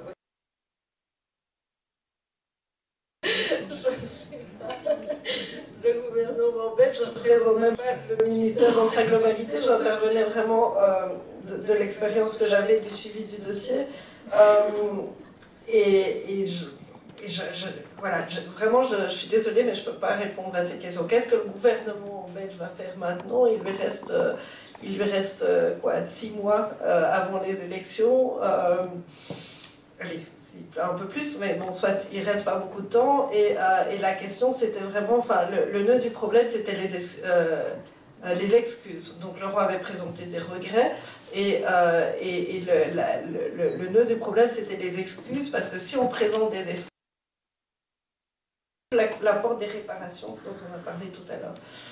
Euh, voilà, c'est hautement politique et donc euh, vraiment c'est effectivement au niveau du gouvernement et, des, à ce niveau-là qu'il faut répondre à cette question et je ne peux vraiment pas m'avancer là-dessus, je suis désolée. Moi, je veux bien dire un tout petit mot parce que je vais devoir partir. Et en réaction à une interpellation de Anne Hansoms, qu'est-ce qu'on fait à l'université pour décoloniser l'université? Alors, euh, j'ai cette chance, je ne sais pas si c'est une chance, mais si je crois quand même que c'est une chance, depuis quelques mois, avec Florence de Gavre, on s'est vu confier le chantier, euh, l'énorme chantier qui durera des années, nous on s'est vu confier pour quelques mois, de, des politiques d'égalité, diversité, inclusion à, à l'UC Louvain. Alors au départ, pendant des années, les universités se sont euh, emparées de ces questions d'égalité en les focalisant sur les questions de genre. L'UC Louvain a mis du temps même à commencer sur le genre, mais beaucoup d'autres universités, depuis plusieurs décennies, travaillent sur les questions de genre. En Europe, aux États-Unis, plutôt sur les questions raciales, avec des succès assez euh, différents. Aujourd'hui, on dépasse les questions de genre et on veut, euh, l'Union européenne veut pousser les universités à développer ce qu'ils appellent EDI, Equality, Diversity, Inclusion, c'est beaucoup plus, plus large. Et donc le défi de l'UC Louvain, c'est sans même avoir tout à fait saisi les questions de genre, de s'emparer des autres, racisme, sexisme, validisme, et toutes les autres sources de discrimination et de vulnérabilité qui peuvent être fondées sur l'origine socio-économique et toute une série d'autres facteurs. Et bien souvent, on a on, doit agir au croisement de ces différents facteurs. Et euh, alors, il y a une volonté à l'UC Louvain, en tout cas, d'ouvrir le chantier, mais ouvrir le chantier, on se rend compte que le chantier est énorme. Alors, on peut le décliner par plein de portes d'entrée, ce qui est tout à fait interdit, inadmissible. Et c'est faire une forme de trac, et je ne dis pas trac dans un sens négatif, je le dis plutôt avec enthousiasme, trac des, expressions qui peuvent être volontaires ou involontaires du sexisme, du racisme, du validisme dans les approches et on peut euh, aussi travailler par les incitants en allant épingler toute une série de bonnes pratiques, de bonnes idées, d'innovation pédagogique, notamment Anne m'en avait parlé pour que l'enseignement soit plus inclusif et d'échanger sur ces bonnes pratiques.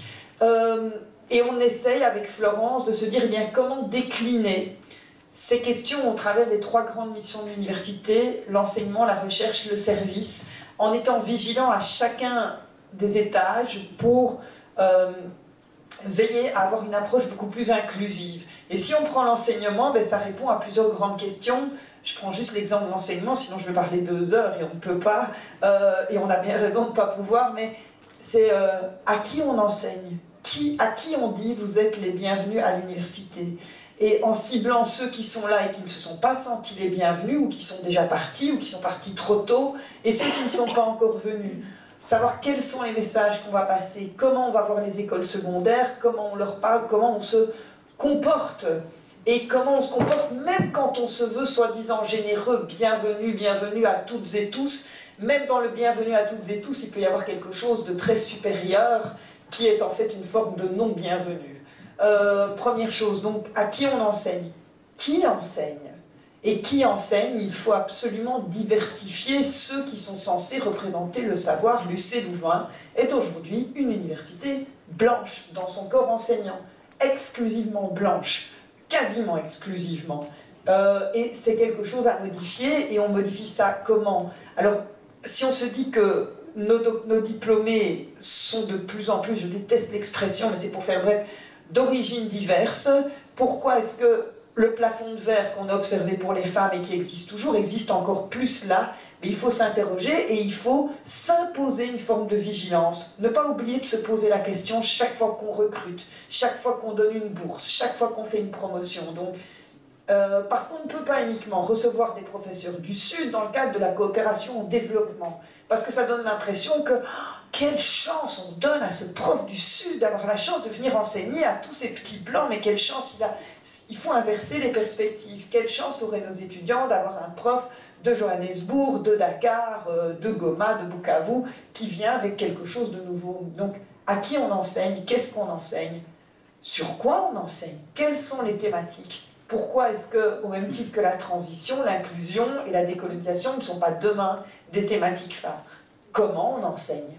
Comment on développe des méthodes inclusives, pas uniquement fondées sur un savoir encyclopédique euh, traditionnelle euh, comment on s'adresse aux étudiants. Et toutes ces questions, bien, au moins maintenant, elles sont sur la table. Vous dire que l'UC Louvain aura changé dans un an, je ne crois pas, mais ce qu'on espère au moins, c'est que les choses bougent et il y a plus qu'un bruissement à la base. Donc voilà, je pense que l'université doit s'interroger et les mêmes questions doivent se poser sur la recherche. Qui fait de la recherche, avec quel budget, sur quelles questions et comment on cherche et dans les services aussi, quand on donne un petit budget pour un micro-projet, à qui on l'a donné Pourquoi à ces gens-là Est-ce qu'on a veillé à, être éclectique euh, parce que sinon, le mot université, il va disparaître. Parce que si université, c'est juste regarder un endroit avec un regard, c'est plus une université. Donc voilà, ça bouge, mais euh, on a besoin de tout le monde pour que ça bouge et, euh, et des impulsions, même parfois provocatrice ou, ou violente par le langage, mais on en a besoin pour que ça bouge.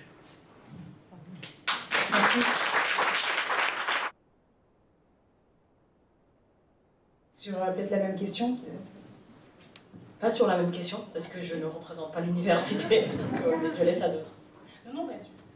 Euh, je voulais juste réagir par rapport à la question de pourquoi nous, Africains, ne devrions-nous pas laisser se passer, passer euh, et, euh, s'approprier euh, la colonisation. moi, j'aurais envie de dire que contester, c'est s'approprier. c'est s'approprier aussi l'histoire, avoir envie que, les vies qui ont été volées, que les inégalités qui continuent, on le on voit dans, dans les questions d'immigration avec toutes les personnes qui continuent à mourir. On le voit sur les questions économiques. On a, on a, on a évoqué euh, toute une série de violences qui sont passées, qui continuent à se passer.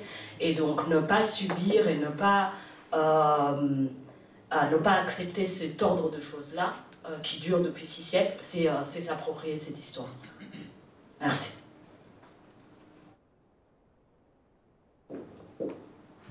Oui, juste, juste un mot penseurs africains ont beaucoup réfléchi sur un concept qu'ils ont appelé l'innocence blanche.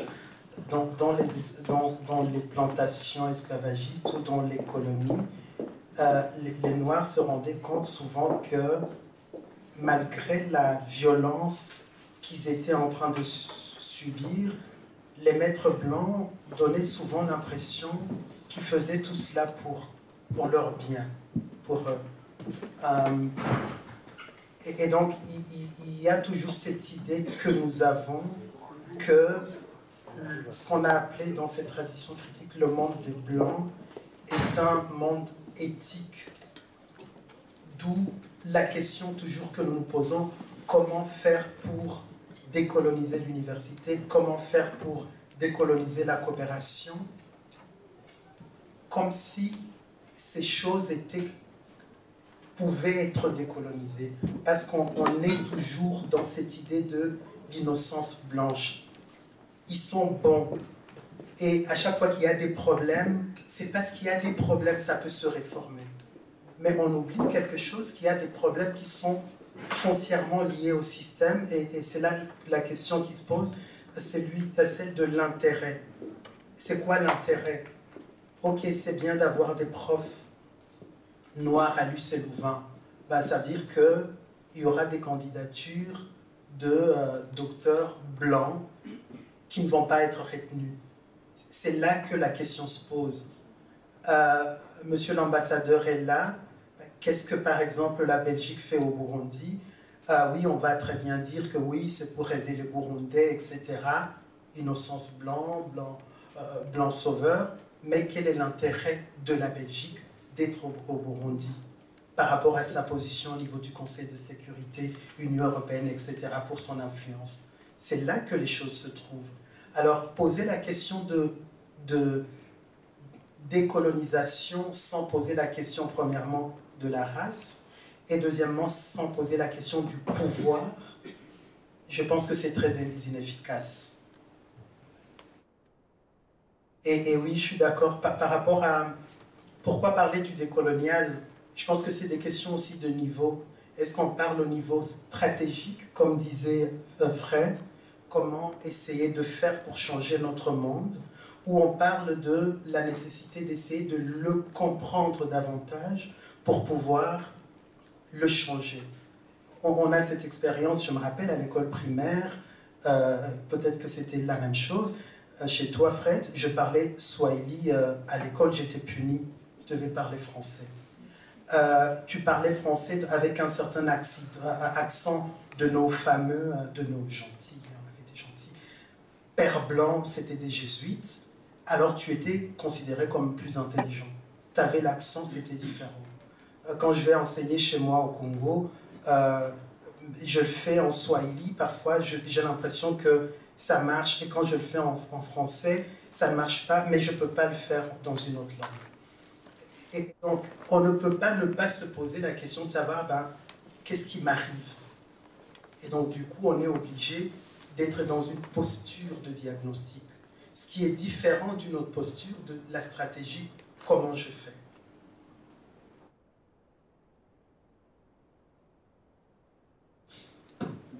Je vais peut-être continuer sur, euh, sur ce que là où Emma a fini. Je pense qu'il les besoins de, et l'intérêt de faire ces procès-là est peut-être d'oser. Je ne pense pas que la décolonisation, pour moi, c'est une utopie, ça peut arriver, mais c'est parce que la colonisation est encore très présente dans nos vies et dans nos imaginaires, euh, et peut-être qu'on n'a pas encore euh, fini de comprendre jusqu'à quel degré c'est présent dans... dans euh, je sais qu'aujourd'hui, on parle même des transmissions génétiques des traumatismes, et souvent on parle de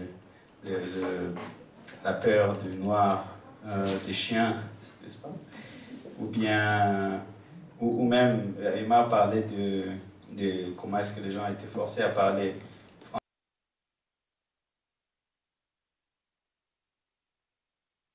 De, Paris, euh, bien plus que de chez moi.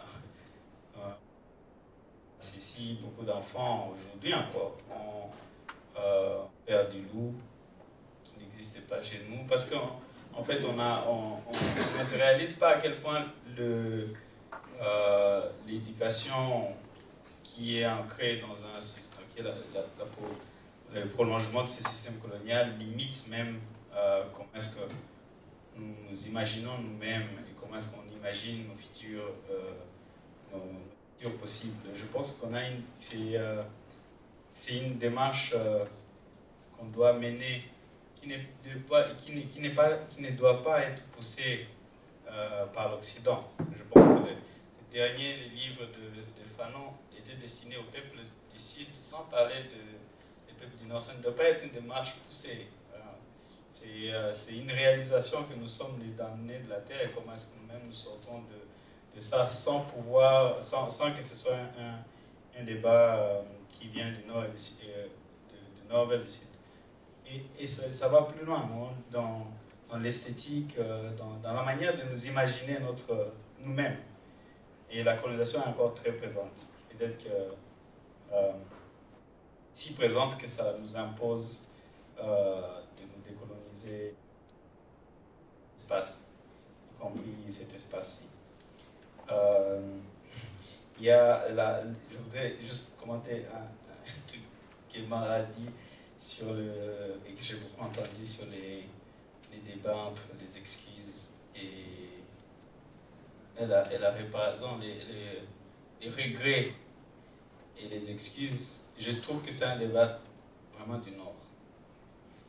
Parce que vie, euh, vie d'ici, ça signifie les gens n'attendent pas forcément toute la complexité lexique euh, de, derrière ces débats-là. Il y a, il y a ce besoin-là de réparation et ce n'est pas qu'utiliser un concept ou un autre ouvrira la porte de réparation. La porte est ouverte, il faut, il faut y entrer.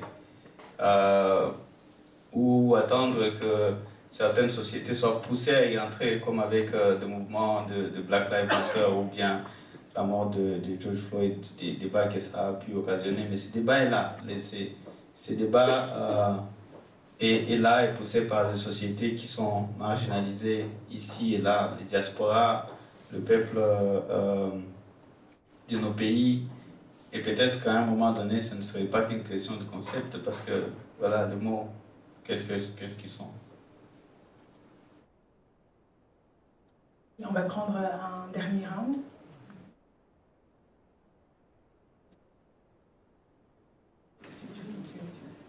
Euh, bonjour, euh, merci beaucoup pour l'organisation de cette conférence. Euh, il a été mentionné que il était éventuellement nécessaire de passer de la coopération à la réparation sans que cette réparation soit imposée selon les critères et les modalités définis par le Nord. le problème, et ma question s'adresse en priorité à M. Boma, mais aussi aux autres panélistes, on sait qu'il y a beaucoup d'États du Sud qui sont défaillants qui ont des, des gros problèmes en tout cas de fonctionnement. Alors avec qui euh, discuter de, ces modalités éventuelles euh, d'une réparation dans un monde idéal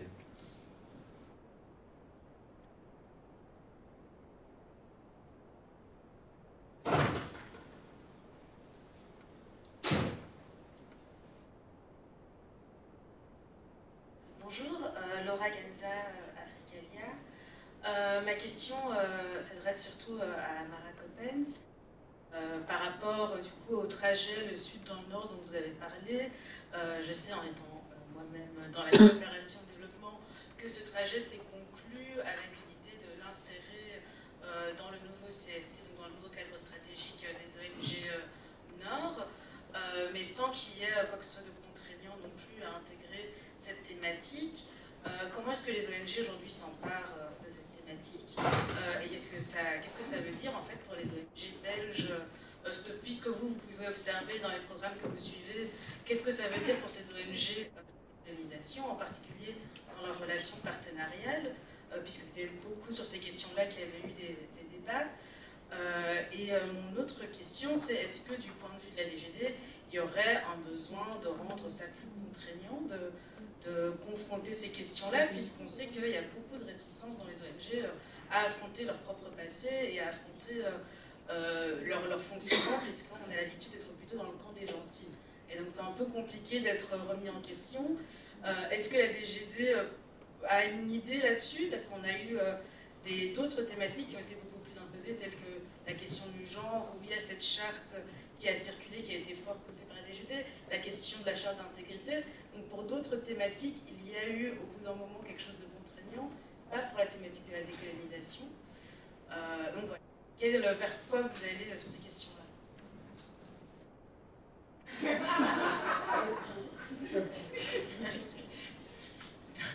Oui, on, je, je, je profite de l'occasion de répondre par une question très très pragmatique. Les ONG vont bientôt repasser un screening. Pourquoi n'y a-t-il pas un volet qui concerne euh, justement toute cette question de, prise en compte de, ce processus de décolonisation au sein même des structures, euh, plutôt que de les auditer comme des PME et de leur bonne gouvernance. Merci.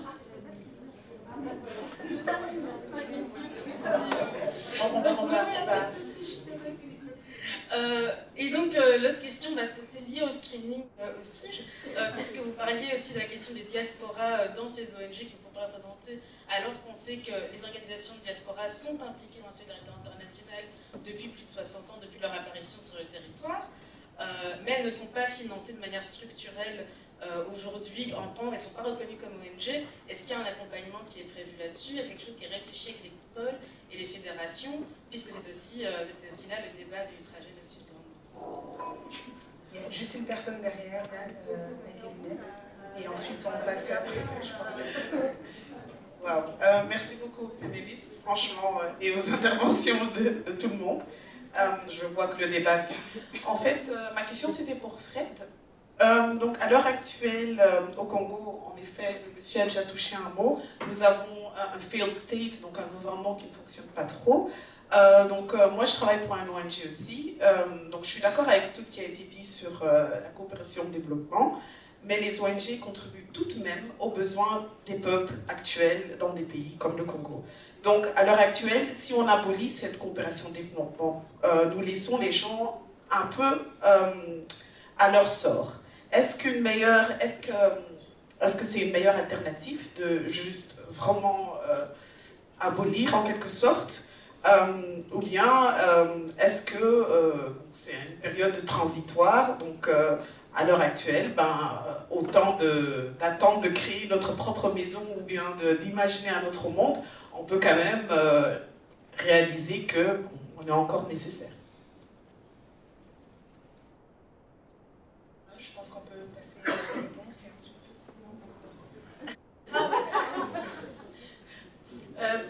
bonsoir à tous à toutes et à tous. Je viens d'arracher le micro, je suis désolée parce que j'avais une question qui me brûlait sur la langue vraiment depuis tout un temps. Euh, je vous ai écouté et, je, je, pense que quand vous parlez des colonisations, euh, il me reste quelque chose de très important parce que euh, les conséquences de la colonisation, la principale conséquence de la colonisation, Liliane a parlé, Emma en a parlé, euh, Fred aussi, euh, c'est vraiment le racisme. Alors, le racisme, j'aimerais bien vous entendre sur ça. Qu'est-ce qu'on peut faire justement? Ça fait partie d'une décolonisation. Qu'est-ce qu'on peut faire dans ce monde justement inégalitaire où l'Occident est dominant sur le Sud? Et comment faire? Où commencer? Quelles sont les, vos propositions? J'aimerais bien vous entendre euh, tous, les, tous les cinq qui restent là. Et, sur ça, j'aimerais une proposition. Et pas, et pas euh, passer autour du pot, donner des propositions, parce que nous, on en a besoin. Je travaille dans euh, la lutte contre le racisme et j'ai besoin des outils. Merci beaucoup.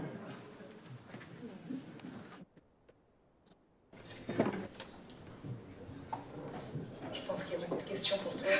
Ok. Non, non, vas-y, vas-y, Fred. Euh, la, première question, c'était sur la, la, réparation et les États faillis. Comment on fait euh, Je pense que je viens des États faillis. Euh, la, première chose crois qu'on doit reconnaître, c'est qu'il y a des dynamiques propres dans les États du Sud.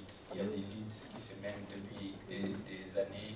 Il y a des efforts euh, pour reconstruire nos propres sociétés. Euh, et ça, c'est une question qui nous regarde. Euh, nous, nous mobilisons pour, pour plus de liberté. Parfois, les interférences font que cette lutte-là n'est n'aboutissent pas, mais il y a, toutes ces démarches-là Congo, au dit, et dans beaucoup d'autres pays. Et ce que nos sociétés vont devenir demain, je pense que ça devrait être à nous de les définir. Non, les, questions de conditionner la, réparation par les moments où on décidera, depuis ici, que euh, certains États décident ont cessé d'être des États faillis, je pense que c'est euh, juste s'inscrire dans la même logique. Euh, L'exemple du masque est, intéressant à mon avis. si vous me volez mon bien et que je vous demande de me, les rendre, vous n'allez pas me dire que je n'ai plus de porte et que donc l'objet va être volé. Donnez-moi mon bien. Après, je les garderai. Peut-être que je les détruirai. C'est mon bien. Euh, et je pense que poser ces deux questions, nos États se transforment depuis euh, beaucoup de temps en, termes de, de, lutte pour la démocratie et tout. On parle de, de vagues de démocratisation et tout ça, ça, produit des formes d'État qui ne sont pas forcément les plus efficaces parfois et tout. Mais il y a des dynamiques propres qu'il faut suivre, peut-être qu'il faut soutenir, mais qu'il faut accepter que ça se passe là-bas avec euh, des forces euh, euh, du Sud et que s'il y avait peut-être un peu moins d'interférences, on finirait nous-mêmes. et, et on est en train de questionner, je pense, pour revenir sur l'autre question de besoin des peuples, est-ce qu'on aussi la coopération, on, abandonne alors les, peuples, c'est déjà à leur sort. Je pense qu'on ne doit pas limiter euh, jusqu'où on peut imaginer de, autres futurs possibles. L'expérience des nos luttes, en tout cas, c'est que ça, une, une de, de, résultats, je pense, c'est d'ouvrir la possibilité, d'ouvrir la fenêtre de ce que nous sommes à mesure d'accomplir. Et aujourd'hui, il, il y a beaucoup de formes dans le présent et dans notre passé de solidarité qui vont au-delà de la, structure actuelle de la, coopération. Aujourd'hui, à Goma, par exemple, dans le, il, y a, il, y a, un camp déplacé qui est au bord de, la ville et ça fait plus de 100 jours que des jeunes euh, manger aux, déplacés. Bien avant que les humanitaires arrivent, les gens nourrissaient, habillaient les déplacés de ces camps-là. Il y a aujourd'hui, on sait qu'il y a beaucoup de déplacés internes qui vivent dans des familles, qui sont comptabilisés, mais qui, euh, qui vivent dans, ces familles, qui mangent ce que les, autres personnes. Il y a une forme de manifestation de solidarité euh, qui existe, que peut-être qu'on peut il y avait aussi d'autres formes de manifestation de solidarité dans nos luttes pour l'indépendance. Il, il y a beaucoup de modèles. Le modèle euh, actuel n'est pas, pas le même. Et ce qu'on décrit dans ces modèles actuels, c'est un peu le racisme longtemps et l'équilibre de pouvoir qui existe et qui peut-être euh, a besoin d'être euh, a besoin d'être démonté et de, afin de permettre au peuple d'imaginer d'autres sources poser la question de ces manières-là, on, est, on, est, on sait que ce n'est pas idéal, mais au moins on est là, on allège le, la souffrance des gens. C'est en fait devenir confortable dans le statu quo à terme. Et, de, et, c'est la même question qu'on pose au Congo en ce moment, depuis un temps, sur la question de stabilité, euh, qui, qui, finit par devenir une, un, qui est assez stable, non? Et de dire, on ne peut pas, en fait, parce que on organise des manifestations, on pousse pour un changement, on dit non, non, vous ne pouvez pas l'obtenir parce que finalement, on n'est pas sûr que vous êtes prêts. Qui définissent que les autres sont prêts? Euh, au changement qu'ils veulent Je pense que c'est toute la question et il faudrait que nous laissions les gens la possibilité d'imaginer librement les sociétés dans lesquelles ils veulent vivre. J'étais là, si les peuples, différents peuples, ont tout ce qu'il faut pour l'imaginer, ça pourrait être des sociétés plus justes.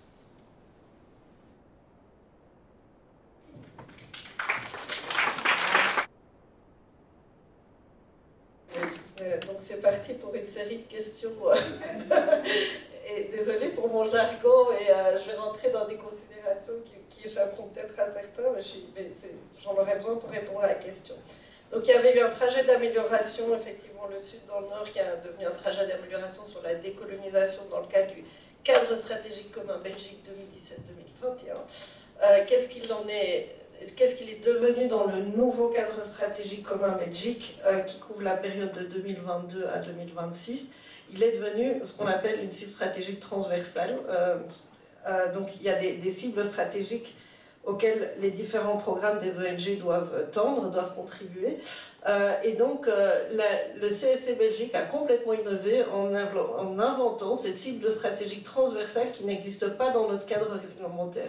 Ils ont mis trois cibles transversales, une sur la décolonisation, une sur le genre, une sur l'environnement. Euh, on s'est posé énormément de questions à l'administration quand on a vu apparaître euh, ça, parce qu'on ne savait pas ce que ça allait donner concrètement. Euh, et parce qu'effectivement, les ONG n'y étaient pas forcément tenues. Euh, et, euh, et ben on attend encore de voir les résultats, donc on est, euh, on est, on est en, première année de programme, donc pour le moment c'est pas très clair ce que ça devient. Donc je peux pas, peux pas vraiment répondre plus précisément. On fera peut-être un débriefing dans un ou deux ans après un ou deux dialogues stratégiques qu'on tient donc annuellement avec toutes les organisations qui sont dans le CSC Belgique. Alors où est-ce que les ONG en sont concrètement après ce, trajet le sud dans le nord? Ben, Je pense qu'il y a eu des progrès, il y a eu énormément de débats, euh, il y a beaucoup, beaucoup d'organisations qui se mettent en mouvement avec des ambitions différentes, avec des méthodes différentes, ça dépend de, de la nature de l'organisation, de leur ancrage, de à quel point est portée euh, la thématique, etc. Euh, et est-ce que la DGD sera plus contraignante, euh, comme par exemple pour la charte euh, intégrité? Donc là, je voudrais peut-être éclaircir quelque chose. Il y a une charte genre qui, a, qui, a, qui est le fruit d'un des trajets d'amélioration du CSC précédent aussi, qui porte l'intégration du genre dans, dans l'éducation à la citoyenneté mondiale. tu as dit, Laura, que le que la DGD avait poussé pour ça. La DGD n'a pas du tout poussé pour ça. C'est une initiative du secteur que la DGD a encouragé, a félicité, euh, mais à aucun moment on a demandé aux ONG est-ce que vous avez signé la charte genre, est-ce que vous n'avez pas signé la charte genre. Et, euh, euh, et donc la, DGD n'a pas été contraignante, elle est contraignante par rapport à l'intégration du genre dans les, dans les coopérations de développement en général, c'est dans tous nos outils, nos fiches d'appréciation, d'analyse, etc., parce que c'est dans la loi. Euh, tout comme euh, l'environnement. L'environnement et le genre sont les deux thématiques transversaux qui sont dans la loi de la coopération. Euh, au niveau de l'intégrité, c'est différent. Effectivement, la, DGD a été beaucoup plus contraignante et c'est une initiative politique qui vient du Parlement suite au scandale qu'il y a eu en Somme Haïti et puis d'autres scandales qu'il y a eu par la suite. Euh, et qui a été encore renforcée par euh, l'arrivée en nom de, de la au, Parlement. Mais donc ça, c'est une initiative politique, et donc clairement, la DGD euh, applique, applique les décisions politiques et a été contraignante en la matière. Alors, est-ce que la DGD devrait être plus contraignante pour la décolonisation? Euh, je sais que les ONG m'avaient posé la question, oui, mais on, met en place cette charte genre, et puis on met en place ces trucs sur la décolonisation, c'est des, bonnes initiatives, oui, effectivement. Est-ce que la DGD va nous sanctionner si on est trop ambitieux en la matière? Et moi, ma réponse a été de dire, ben, non, enfin, je ne vois pas comment on pourrait sanctionner euh, les ONG sur euh, des interrogations qui, viennent du secteur. les ONG, actuellement, sont à l'avance dans la réflexion sur la décolonisation par rapport à la DGD. Alors quelle légitimité aurait la DGD pour maintenant, alors que le chantier commence seulement chez nous, de dire euh, aux ONG, ben, vous devrez faire ci, vous devrez faire ça, et, euh, et les partenariats, et ci et ça. Alors on essaye d'améliorer nos propres outils, par exemple maintenant dans les nouveaux outils de rapportage annuel des ONG, on a éliminé toutes les références au renforcement des capacités, par exemple, dans les relations partenariales, on a essayé de veiller à, améliorer nos outils. Euh, ce qu'on pouvait faire à notre niveau, euh, sans plus de, de consultation euh, à plus haut niveau, mais, et on va continuer à accompagner les ONG et à applaudir et à soutenir, mais pour le moment, on ne se pose pas du tout avec le, bâton. Moi, je trouve que la carotte est plus intéressante euh, et, on est plus légitime pour une carotte pour le moment que, pour un bâton.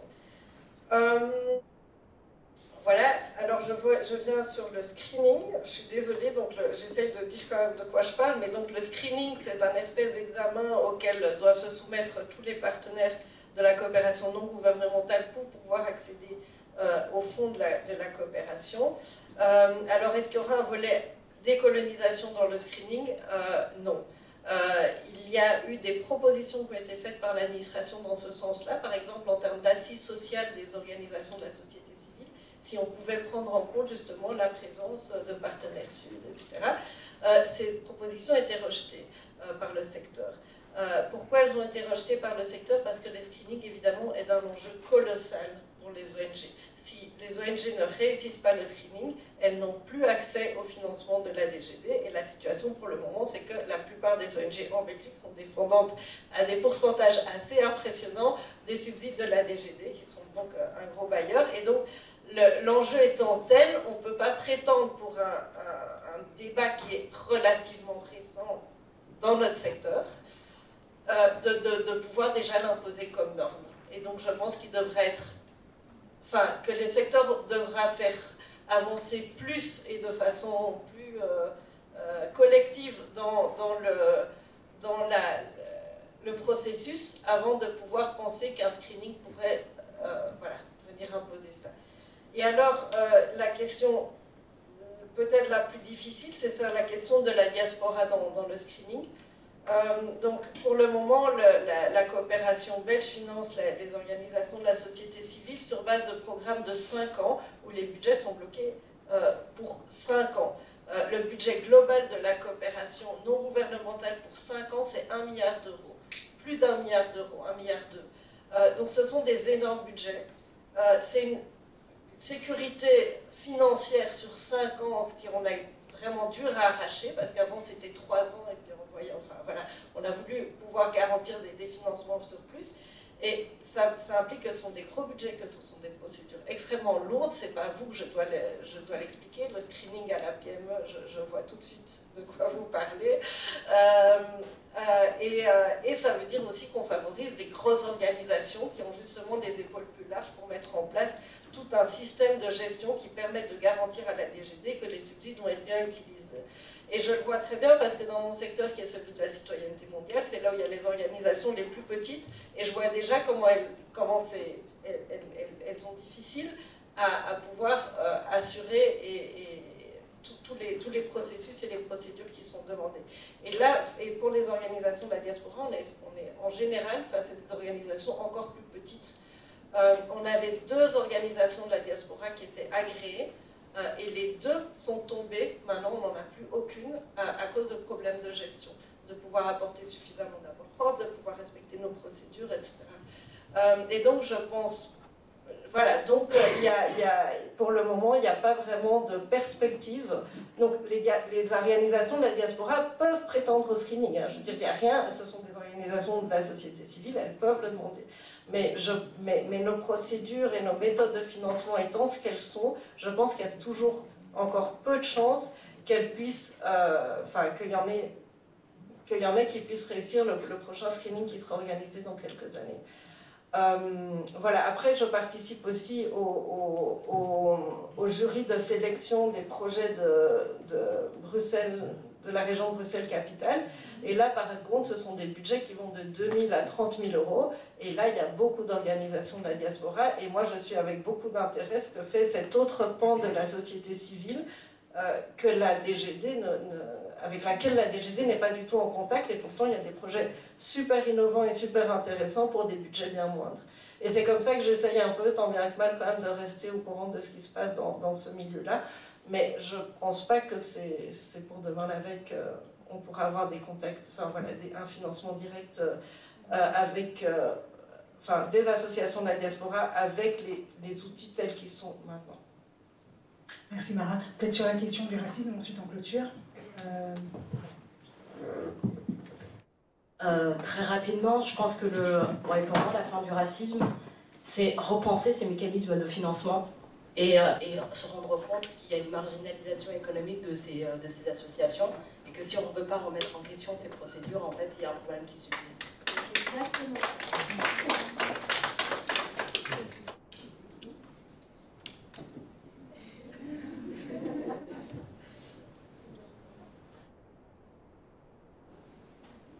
le racisme, je ne sais absolument pas. Euh, j'ai envie de prendre mon vol demain de de, de, quoi je parle?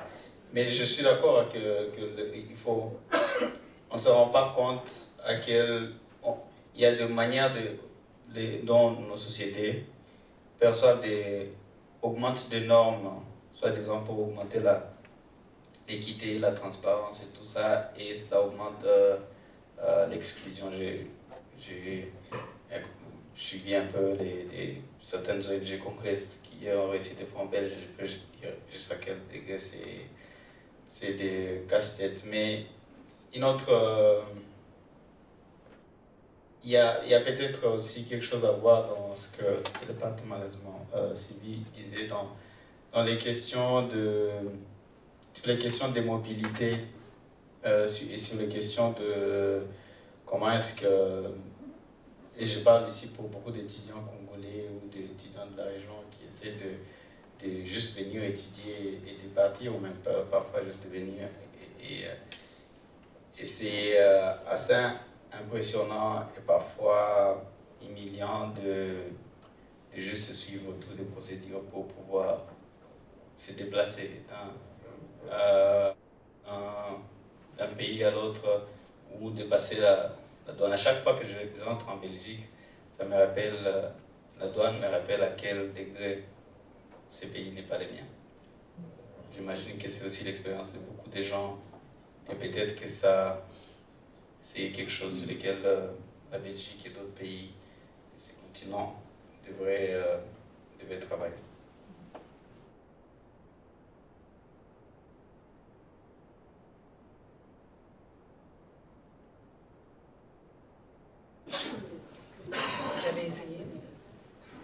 je cumule les défauts, moi. Je suis blanc, je suis près de 60 ans, homme, hétérosexuel. Je, cumule les, caractéristiques du, dominant. Il y a peut-être que, mon milieu d'origine qui fait que je ne suis pas un dominant. Je suis dans un milieu très modeste, où justement, euh, sans doute pas le racisme, mais la xénophobie est très répandue. Xénophobie au sens littéral du terme, donc peur de l'étranger. Donc je viens d'un milieu populaire, effectivement, où euh, la xénophobie est, répandue. Et donc les solutions pour lutter contre le racisme, je ne les connais pas mieux que, vous et, que, nous. Mais, donc il y, a, forcément euh, l'éducation, l'éducation, l'instruction. Euh, mes parents n'ont pas terminé l'école primaire. donc il y a des racistes chez les riches aussi et chez les instruits également, chez les gens social. Il y a également du racisme dans ces catégories de la population, mais force est de reconnaître que les voix de l'extrême droite, par exemple, on, en, prend beaucoup dans ces milieux, euh, dans ces milieux populaires. Euh, on n'a pas le temps, mais je vais le faire quand même. cette semaine, désolé, mais cette semaine j'ai entendu deux, positionnements au nom décoloniaux, deux appels euh, à, à, décoloniser, qui viennent de deux endroits bien différents, qui viennent du sud, tous les deux, et ils m'ont apparu totalement antagoniques. Euh, donc je vais vous renvoyer la question, même si on n'a pas le temps de la débattre aujourd'hui. Euh, le premier appel, c'est un appel, un xème appel des apatistes. Les apatistes, c'est ces indigènes mayas dans le sud-est du Mexique qui sont, qui, sont, qui sont en train de mener une lutte là tout à fait impressionnante, évidemment, décoloniale, mais pour eux, le décolonialisme, c'est de l'anticapitalisme, c'est de l'antisexisme, c'est de l'antiracisme, c'est le respect des diversités sexuelles. Ils attribuent même à la colonisation la responsabilité euh, de tout ça, de tout ce qui dans, dans leur propre société, à savoir le sexisme, etc.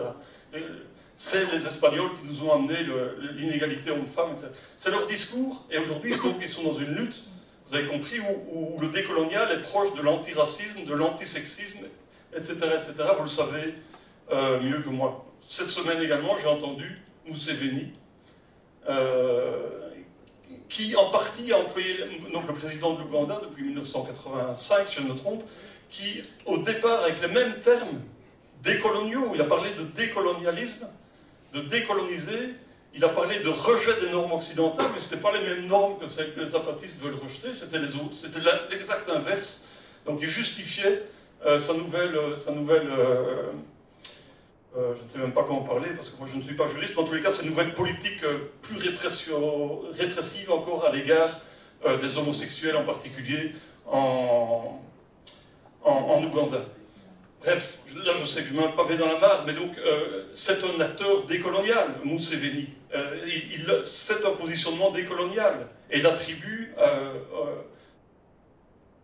et, et, à l'Occident On est dans la désoccidentalisation du monde. Les zapatistes veulent désoccidentaliser le Chiapas. Museveni veut désoccidentaliser euh, l'Ouganda, mais exactement de la manière euh, opposée.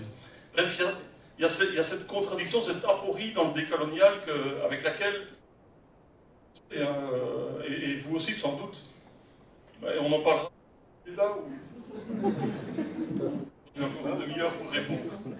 Je pense qu'il y a deux personnes. Enfin, il y a Emma peut-être qui s'est pas exprimée là-dessus. Oui. vous venez de donner une réponse à, une bonne réponse à ce que la question de monsieur pourquoi parler du décolonial. Euh, tous les mouvements de pensée euh, critiques, un, radicaux, féminisme, il y en a 100 000, 100 000 courants. Maintenant, on est sur euh, assumer la féminité, contradiction totale avec égalité parfaite. c'est des courants de pensée, il y, a, du débat latent, marxisme, n'en parlons pas, post-structuralisme. Donc tous les courants de pensée tous les mouvements sont euh, euh, traversés par des antagonismes et des contradictions. Mais il me semble que, et je pense que vous êtes d'accord avec euh, moi là-dessus, que le plus important, c'est, encore une fois, comme Fanon, dans, dans quelle mesure on est en train de parler des conditions, de la condition humaine, malgré, malgré toutes, toutes ces questions. la deuxième chose par rapport au racisme, je suis aussi désespéré que, que, Fred, pour une petite raison. Je pense que les organisations qui travaillent sur ces questions de racisme, racisme doivent, je pas dire ça, pourraient sur, sur, deux questions. Premièrement, c'est la question de, je l'ai dit, innocence blanche versus intérêt. Quel intérêt j'ai en tant que ONG belge avec beaucoup qui pensent que les Noirs de la diaspora ne sont pas plus légitimes que, que les Blancs sur des questions qui concernent ces, ces pays-là. Et quel est l'enjeu? C'est la position, Et, donc, dans le racisme structurel, quelles sont les questions de pouvoir et de privilège là-dedans et, structurellement comment on peut résoudre ce problème? La deuxième chose, c'est cette, hypothèse qu'il y a nécessairement quelque chose de rationnel dans le racisme. Euh, toutes les personnes qui portent la couleur noire le savent. Ce, côté euh, nauséabond lorsque on commence à vous considérer comme un être humain, lorsque vous dites que vous êtes étudiant et, que vous avez un document euh, pire que vous avez un doctorat. Vous devenez un être humain.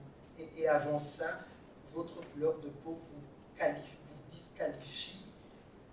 Justement, mais c'est quelque chose qui, qui n'a plus grand-chose à voir avec euh, le rationnel et qui est de l'ordre structurel. Et, je pense que de ce point de vue, et c'est peut-être ma position de chercheur, on a plus de questions à se poser que, que à donner par rapport à cette question. Et finalement, oui, l'Afrique, c'est 54 pays, et franchement, c'est des pays, c'est très différent ce qui se passe au Burundi, au Congo, en Afrique du Sud, par rapport au, fameux euh, concept État failli, etc. Et ça serait intéressant pour les ONG d'aller voir les chiffres. Qu'est-ce que la Belgique donne au Congo par rapport à ce dont le Congo a besoin pour faire vivre ses, habitants? Parce que parfois on a tendance à, exagérer et on a des chiffres qui montrent que l'argent que les Burundais, les Congolais, les Rwandais envoient dans leur pays après avoir travaillé dur ici est de loin plus important que l'argent de la coopération. Et donc il y, a, une réflexion à faire aussi par rapport à quelle est la place de cette coopération-là et, comment surtout, mais comment faire pour résoudre le problème de manière structurelle et durable. Et je pense que là, il y a un problème au niveau de la, de la coopération. Je comprends très bien cette volonté de vouloir aider, vouloir s'engager, mais je pense que c'est aussi irresponsable que de ne pas se poser la question de savoir comment m'engager pour ne plus jamais être utile à ces gens-là.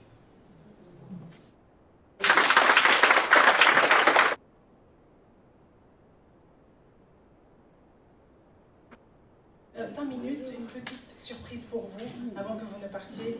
Et euh, oui, non, non, c'est juste une petite, euh, surprise. Donc, je ne sais pas si cette surprise peut se manifester. Mais, ce serait super.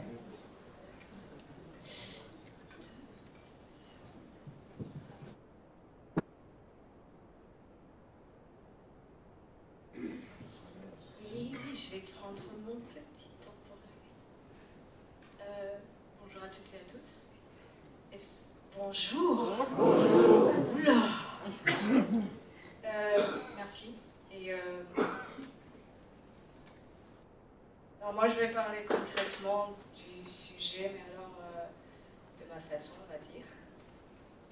Et j'aimerais bien que, bah, voilà, qu'on puisse comprendre mais le souci, c'est que, explique Nederland, je vous parle en français, mais c'est le qui dit ma langue. Salam au roi et ses communautés, tous belges. On dirait chez moi, histoire d'État et d'aînés.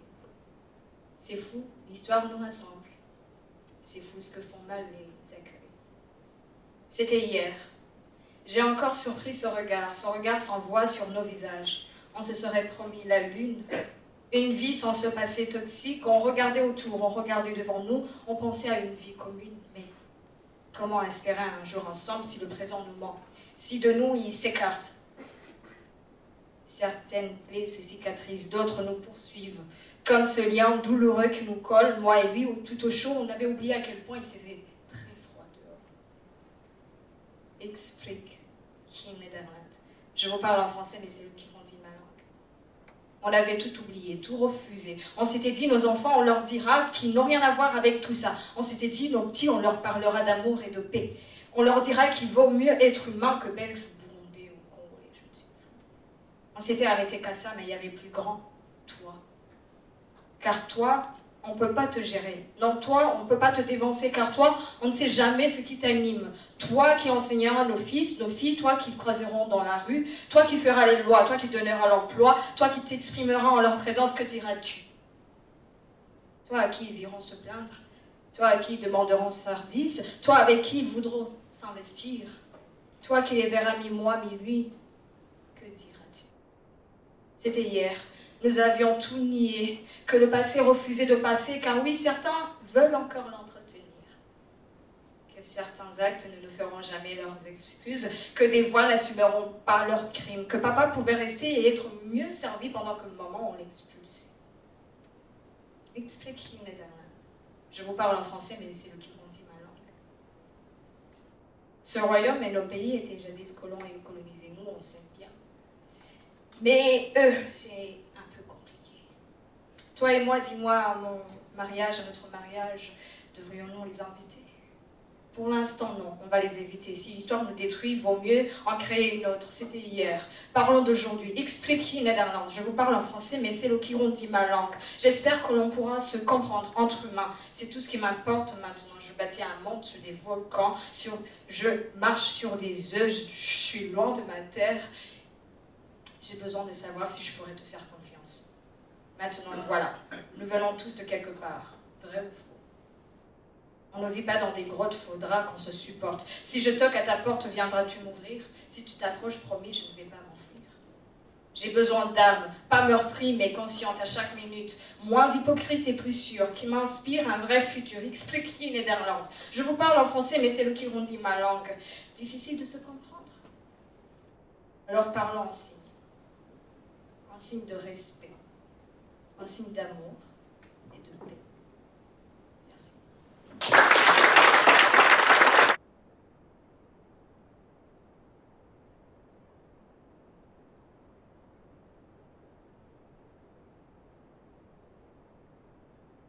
C'est Huguette. Huguette Itzobima, qui est une slameuse et actrice comédienne burundaise. Elle découvre le slam dans un des clubs de son lycée et déclame ses premiers textes en 2014. Représentait à ce moment-là son lycée lors de la première édition du concours interscolaire de slam poésie à l'Institut français du Burundi. En 2016, elle dirige le groupe Yetu Slam, réunissant des slameurs de Bujumbura. En 2018, elle est attirée par le théâtre. Elle interprète alors son premier rôle dans la pièce Machine 26 couloirs C de Patrice Faye. En avril 2018, Huguette remporte le titre de championne nationale de slam poésie au Burundi avec son texte africain. La même année, elle représente le Burundi à la première édition de l'Afrique de slam poésie euh, au Tchad. En 2019, elle participe à des scènes de slam locales et internationales dans des festivals internationaux et dans d'autres projets artistiques au Burundi, mais aussi au Rwanda, au Congo, au Cameroun, aux îles Comores. C'était Huguette Itzoli.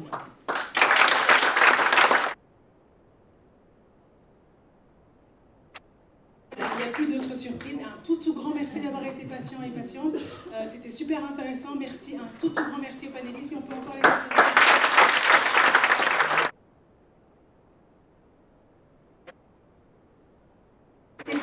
euh, de décolonisation vous intéresse euh, encore et encore, n'hésitez pas à passer, il y a une très très belle exposition, très intéressante au Forum des Halles, dans la galerie euh, de, de, de Louvain-la-Neuve, dans la galerie de la gare de Louvain-la-Neuve, qui s'appelle les...